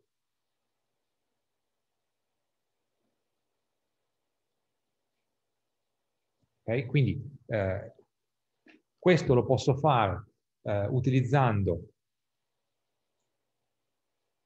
un pattern che è sostanzialmente quello dell'observer observable. Okay? Posso utilizzare eh, varie strategie, quindi posso utilizzare eh, la coppia observer-observable che però in realtà è stato eh, deprecato perché non è abbastanza flessibile. Um, Posso utilizzare eh, la classe eh, Property Change Listener, che sostanzialmente mi permette di andare a eh, notificare eh, gli eventi, eh, oppure posso in maniera molto eh, più semplice andare a definire un'interfaccia ve, ve lo scrivo qua così evitiamo di utilizzare classi esterne, vado a mettere un'interfaccia. Che chiamo?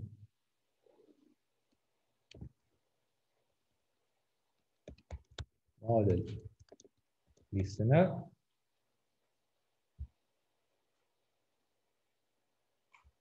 Che ha un unico metodo void model change. Okay. Poi la cosa si può fare molto più complicata specificando uh, il, tipo, il, il, dato che è cambiato uh, come parametro, avendo tanti metodi che vanno a identificare diversi tipi di variazione, eccetera. Però model change in questo caso è molto semplice.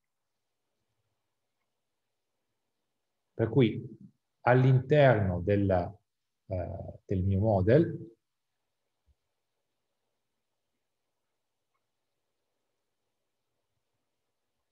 avrò un public void set model listener model listener L this punto listener URL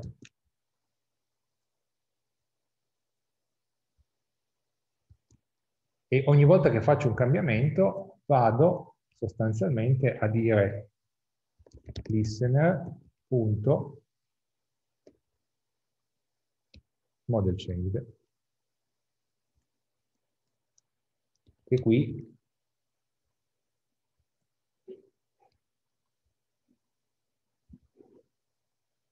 se vado a decrementare il valore, segnalo che è stato modificato. E anche qui, nel caso in cui io vada a fare reset. A questo punto, la mia view, che cosa fa? Andrà a registrare se stessa come listener, quindi andrò a fare model.set model change listener, posso utilizzare una lambda e la lambda semplicemente fa un update.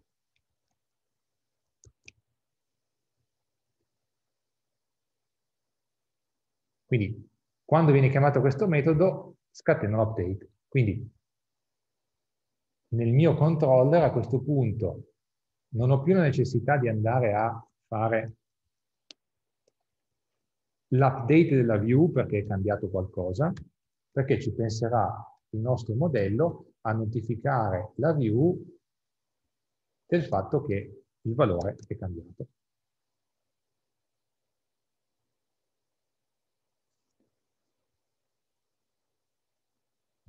Qui se eseguo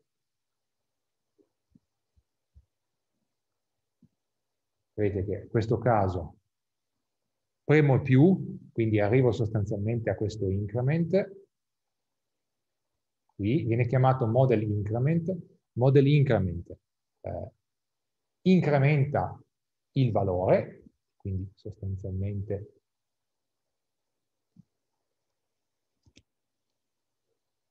fa un valore più più, poi chiama al, sul listener il model changed, eh, il listener registrato è sostanzialmente questa lambda che a sua volta chiama il metodo update e update cambia il contenuto.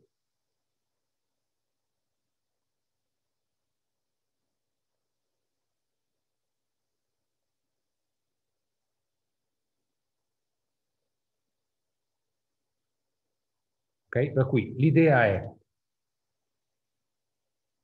all'interno del nostro modello abbiamo i nostri metodi di gestione del modello normali. Alcuni di questi metodi possono cambiare il contenuto del modello e quindi potenzialmente eh, un cambiamento del contenuto del modello può eh, influenzare la vista. Quindi, che cosa abbiamo fatto? Abbiamo definito un'interfaccia e abbiamo eh, aggiunto questo metodo che permette di aggiungere un listener. Quindi chi si registra come model listener riceverà una notifica tutte le volte che il nostro modello viene modificato. Se il modello viene utilizzato semplicemente in lettura non succede nulla. Quindi questo listener model change chiama il nostro eh, modello, scusate, il nostro listener, dicendogli è cambiato il contenuto del modello, quindi aggiorna.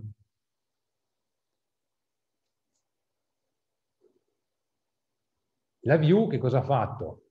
Ha registrato un listener per il modello che sta seguendo e in risposta a eventi di questo tipo, quindi al fatto che il contenuto del modello sia cambiato, semplicemente chiama il metodo update, che è quello che abbiamo definito qua sotto. Quindi a questo punto il nostro eh, controller deve solo preoccuparsi di andare a eh, aggiornare il modello. Poi sarà compito del modello andare a notificare eh, la view che effettivamente qualcosa è cambiato. Se faccio un decrement e all'interno del modello, eccoci qua, eh, se il valore è già uguale a 0, eh, non viene fatto nulla, eh, allora non viene più chiamato aggiornamento. Okay? Il counter non può sapere se il modello è cambiato, scusate il counter, il controller non può sapere se una certa operazione cambia necessariamente il modello. Okay? non sa se eh, il valore è zero oppure no e quindi un decremento effettivamente ha un qualche effetto. Il modello è quello che effettivamente ha queste informazioni, quindi sa se una certa operazione ha cambiato il contenuto e quindi è necessario andare a notificare la view.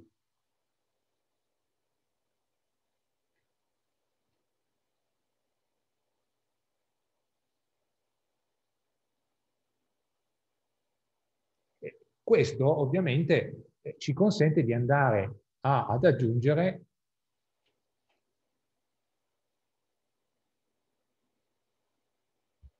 altre view. Quindi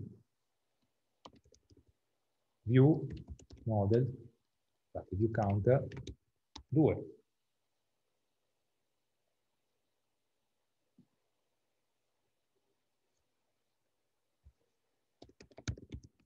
Extends reframe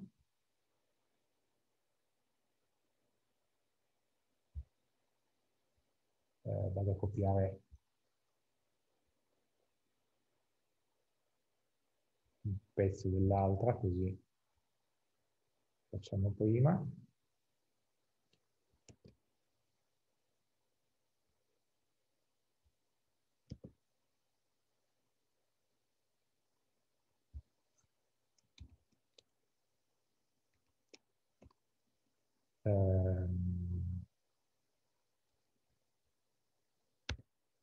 mettiamo soltanto la label, non mettiamo eh, i pulsanti.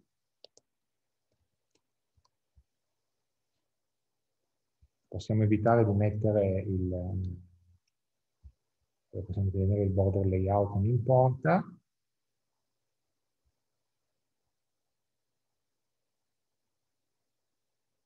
Il model counter allora, lo modifico perché in realtà così ne ho soltanto una, cioè, voglio avere una lista di listener.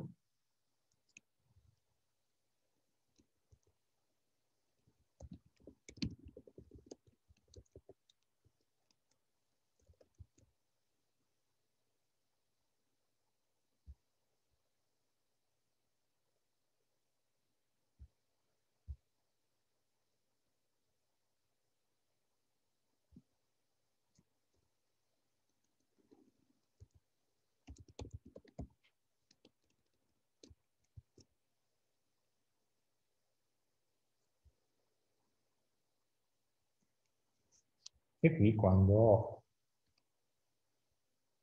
questo avrò listeners.forEach l freccia l.900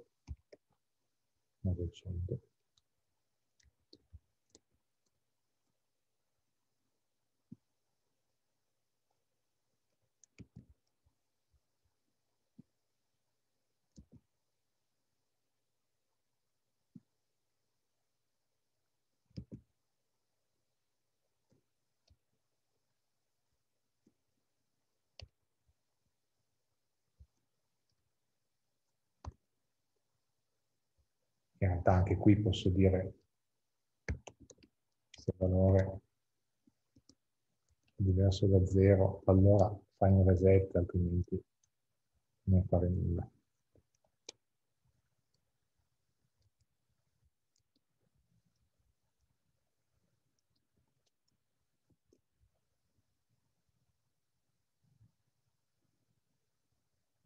Quindi l'idea è vado ad avvisare tutti i miei eh, listener, quindi nella mia app generale, oltre a creare questa view, vado a creare un'altra view, due,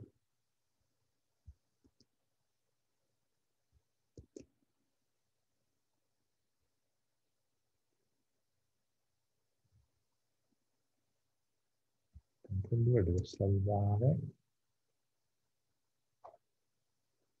questo punto l'app.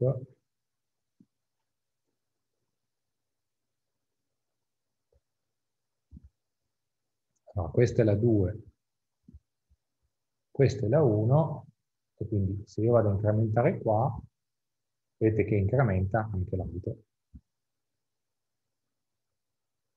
perché il model notifica a tutti, eh, tutte le view interessate che qualcosa è cambiato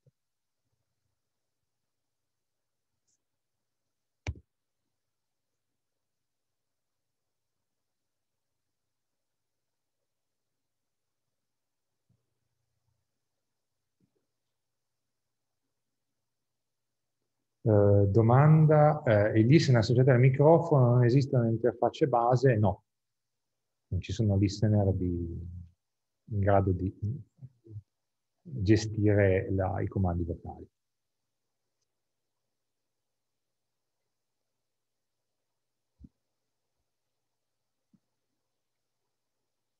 Ovviamente è possibile che alcune operazioni siano, eh, diciamo così, costose in termini di tempi di esecuzione, per cui eh, la mia view, quando ha bisogno di fare eh, un, uh, un update, potrebbe avere la necessità di utilizzare ad esempio un executor service. Quindi io qui potrei avere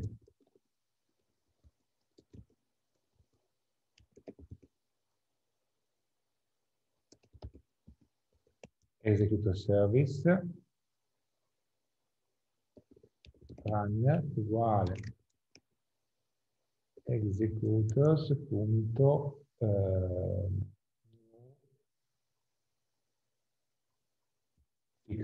pool.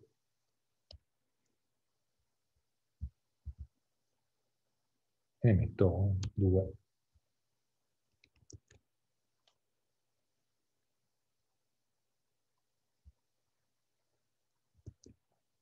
L'update, invece di andare a fare l'operazione così, potrebbe fare eh, runner.submit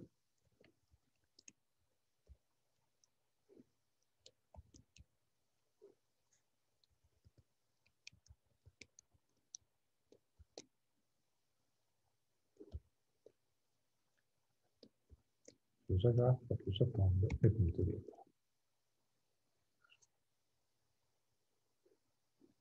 Quindi questa operazione, ovviamente in questo caso è banale, eh, potrebbe sicuramente andare a essere lunga. In questo caso io, quando vado a incrementare, eh, questa operazione di aggiornamento dell'interfaccia viene eseguita in un thread parallelo. Stessa operazione eh, dove effettivamente potrebbe avere addirittura più senso, nel controller, quando io devo fare un'operazione sul modello, questa operazione potrebbe essere svolta all'interno di un nuovo thread, quindi essere eseguita, essere un task che io sottometto a un executor, in modo che eh, il thread che gestisce gli eventi eh, dell'interfaccia grafica termina lì il suo compito e torna disponibile a seguire, ad eseguire altri eventi. Eh, tutto il resto delle operazioni vengono svolte eh, dentro un thread parallelo che ovviamente va per conto suo e quindi non mi rallenta la mia interfaccia. Perché se questo increment impiegasse 10 secondi a svolgere l'operazione, io per 10 secondi ho l'interfaccia bloccata.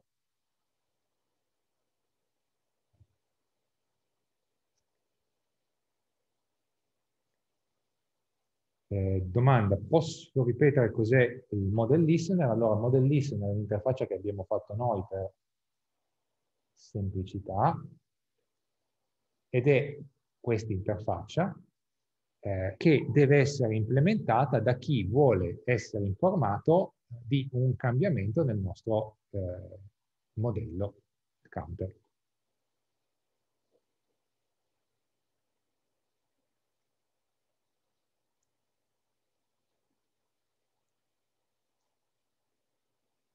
Quindi chi vuole essere informato, quindi in questo caso le nostre view, eh, possono utilizzare questa interfaccia, sottomettere questa interfaccia al metodo eh, set eh, model change listener e tutti gli oggetti registrati tramite questo metodo verranno poi chiamati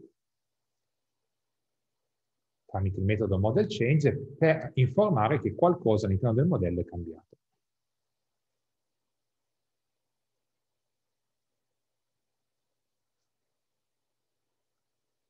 Quindi è un'interfaccia che verrà chiamata dal model per informare che qualcosa è cambiato.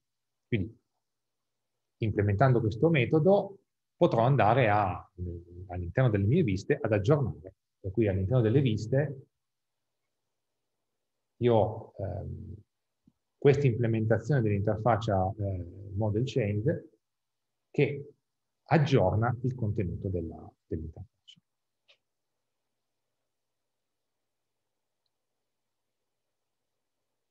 Ok? Torno sul counter 2 eh, che è minimale nel senso che ha semplicemente un, um, un unico elemento che è la label che io aggiungo qui.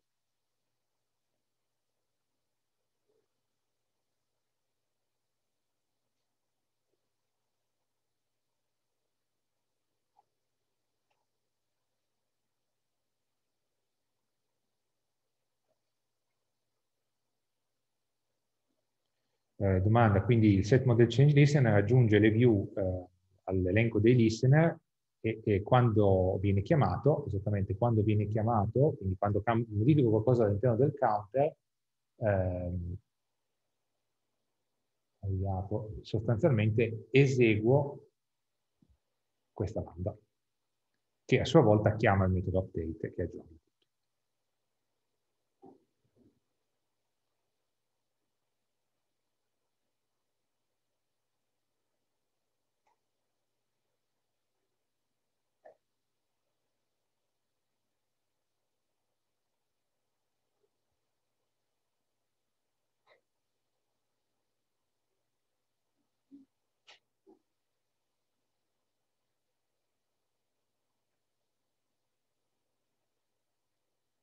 Okay?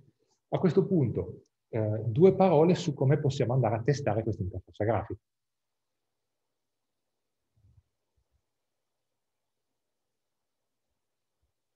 Se io qui voglio andare a creare un nuovo test,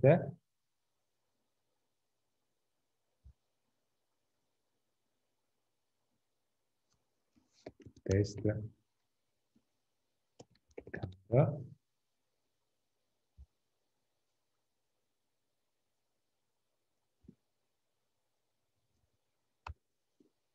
posso avere i miei test standard fatti sulla parte di model. Quindi model counter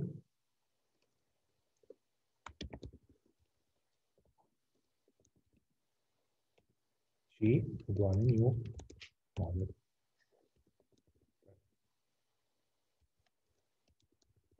Assert equals 0,c punto get value.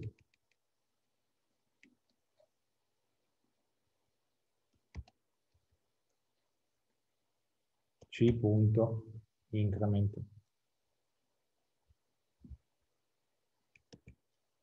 Set equals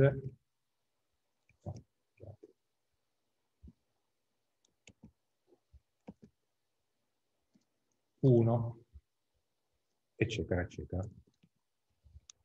Beh, verifico che la parte di modello, indipendentemente dall'interfaccia grafica, funziona. Devo però andare a verificare anche che eh, l'interfaccia grafica funzioni. Quindi,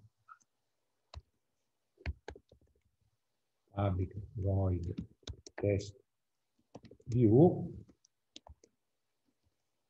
anche questo è un test, sostanzialmente vado a recuperare eh, lo stesso codice che c'era nella mia app.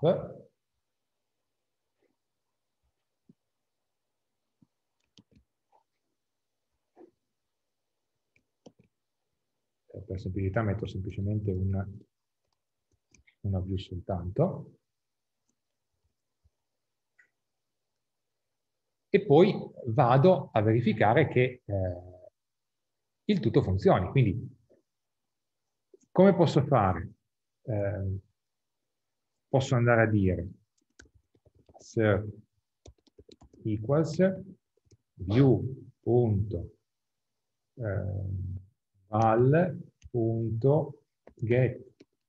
text e qui mi aspetto che il valore sia 0.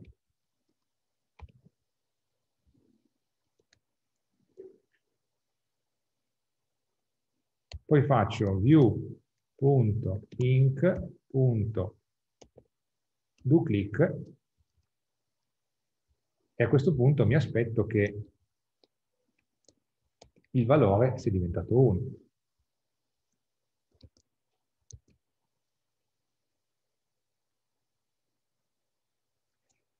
Per poter accedere a val e inc, eventualmente dec,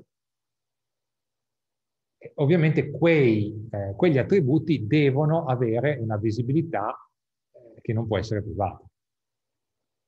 Okay? Io l'ho messa di package in modo che sia insomma, la, la, più stretta possibile, eh, però ovviamente devo andare a, a renderli visibili, se non può essere sicuramente privato.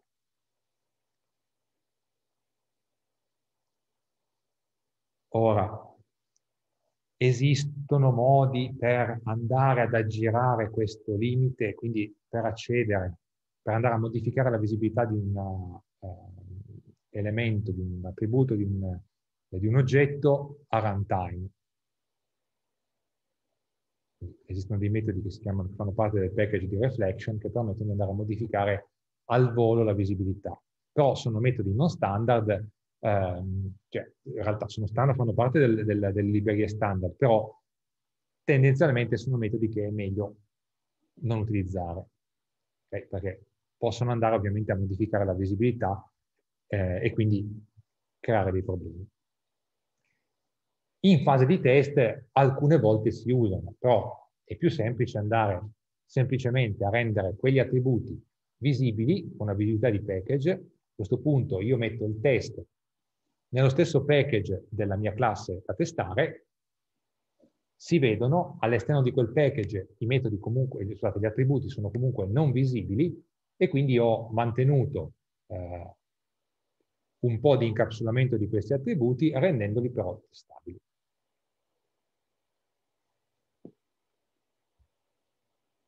A questo punto posso anche vedere se il mio test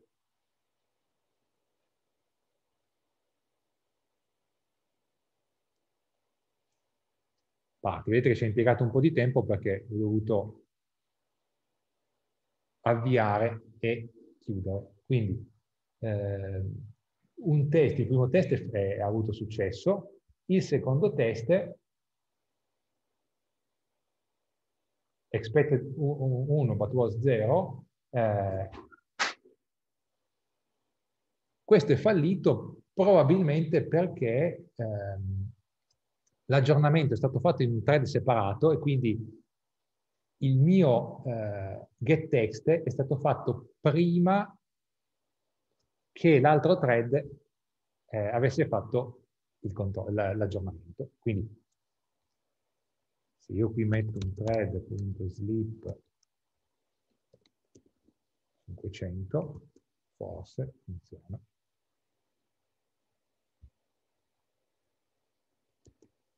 Eh, L'altra cosa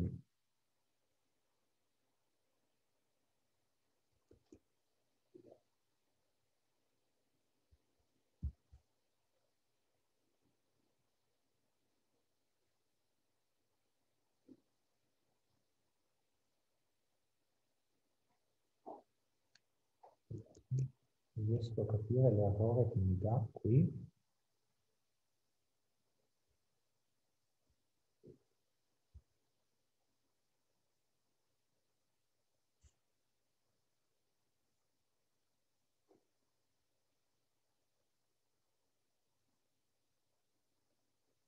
Allora, probabilmente è stato un bacco perché abbiamo messo l'interrupt, me lo mantiene sottolineato, però non mi dice c'è l'errore nel board, va bene.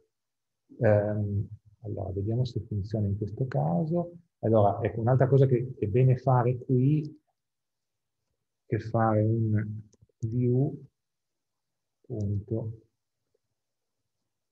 dispose. Sostanzialmente andare a chiudere la,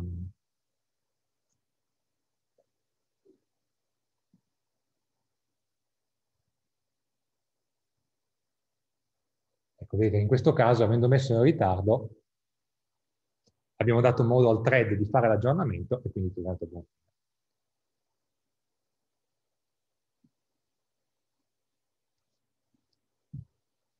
Dovendo fare i test in interfacce grafiche, soprattutto se avete a che fare con dei thread, ecco, questi ritardi qua, io ho messo 500 millisecondi, ma probabilmente ne bastavano 5,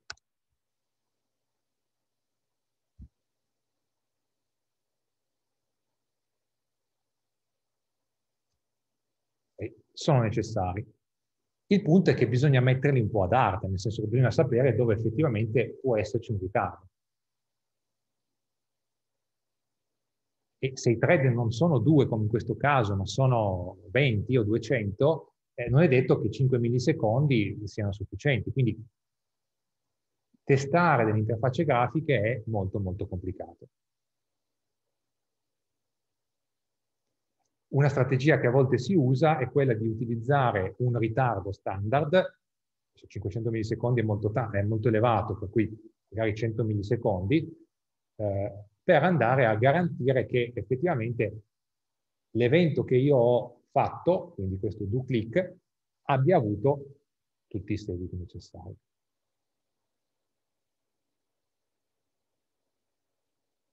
Okay? Non è l'unico modo di testare delle interfacce grafiche, perché io posso andare anche a testare interfacce grafiche dall'esterno, quindi posso tramite il sistema operativo eh, eseguire, mandare degli eventi alla mia applicazione, però questo è, è decisamente più complicato.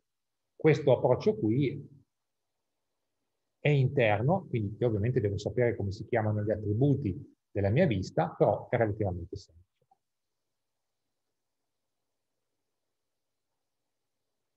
Il tempo di esecuzione ovviamente è elevato, perché avete visto la creazione dell'interfaccia grafica, se l'avete provato sui vostri PC, vedete che è relativamente lenta.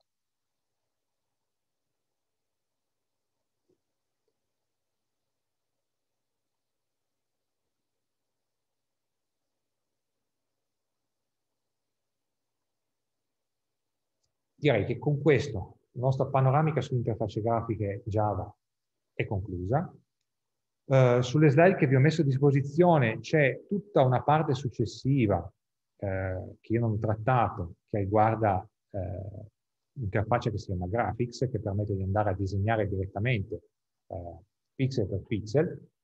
Um, quell'interfaccia può essere utile se volete fare dei, grafici o diagrammi relativamente semplici, eh, però normalmente quando andate a costruire delle interfacce grafiche questo non, non viene utilizzato. Buona parte delle interfacce grafiche sono sostanzialmente la composizione di componenti che già esistono, eh, come quelli che abbiamo visto, secondo i layout più o meno complessi.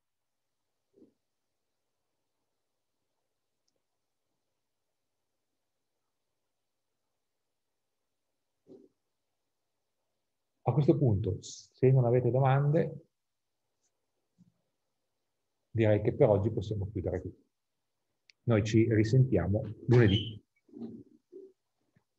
Ci sono ancora veramente pochi argomenti più specifici eh, di cui vi parlerò, poi per il resto eh, le lezioni da questo momento in avanti sono molto più leggere. Ci saranno alcune lezioni teoriche ehm, che tendenzialmente io vi pubblico, ve le guardate, ci sono le slide, ehm, però è inutile che venga qui a ripetervi sostanzialmente le stesse cose, regolate con i vostri tempi tranquilli.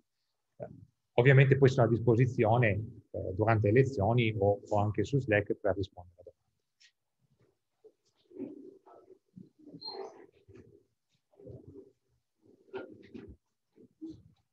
domande.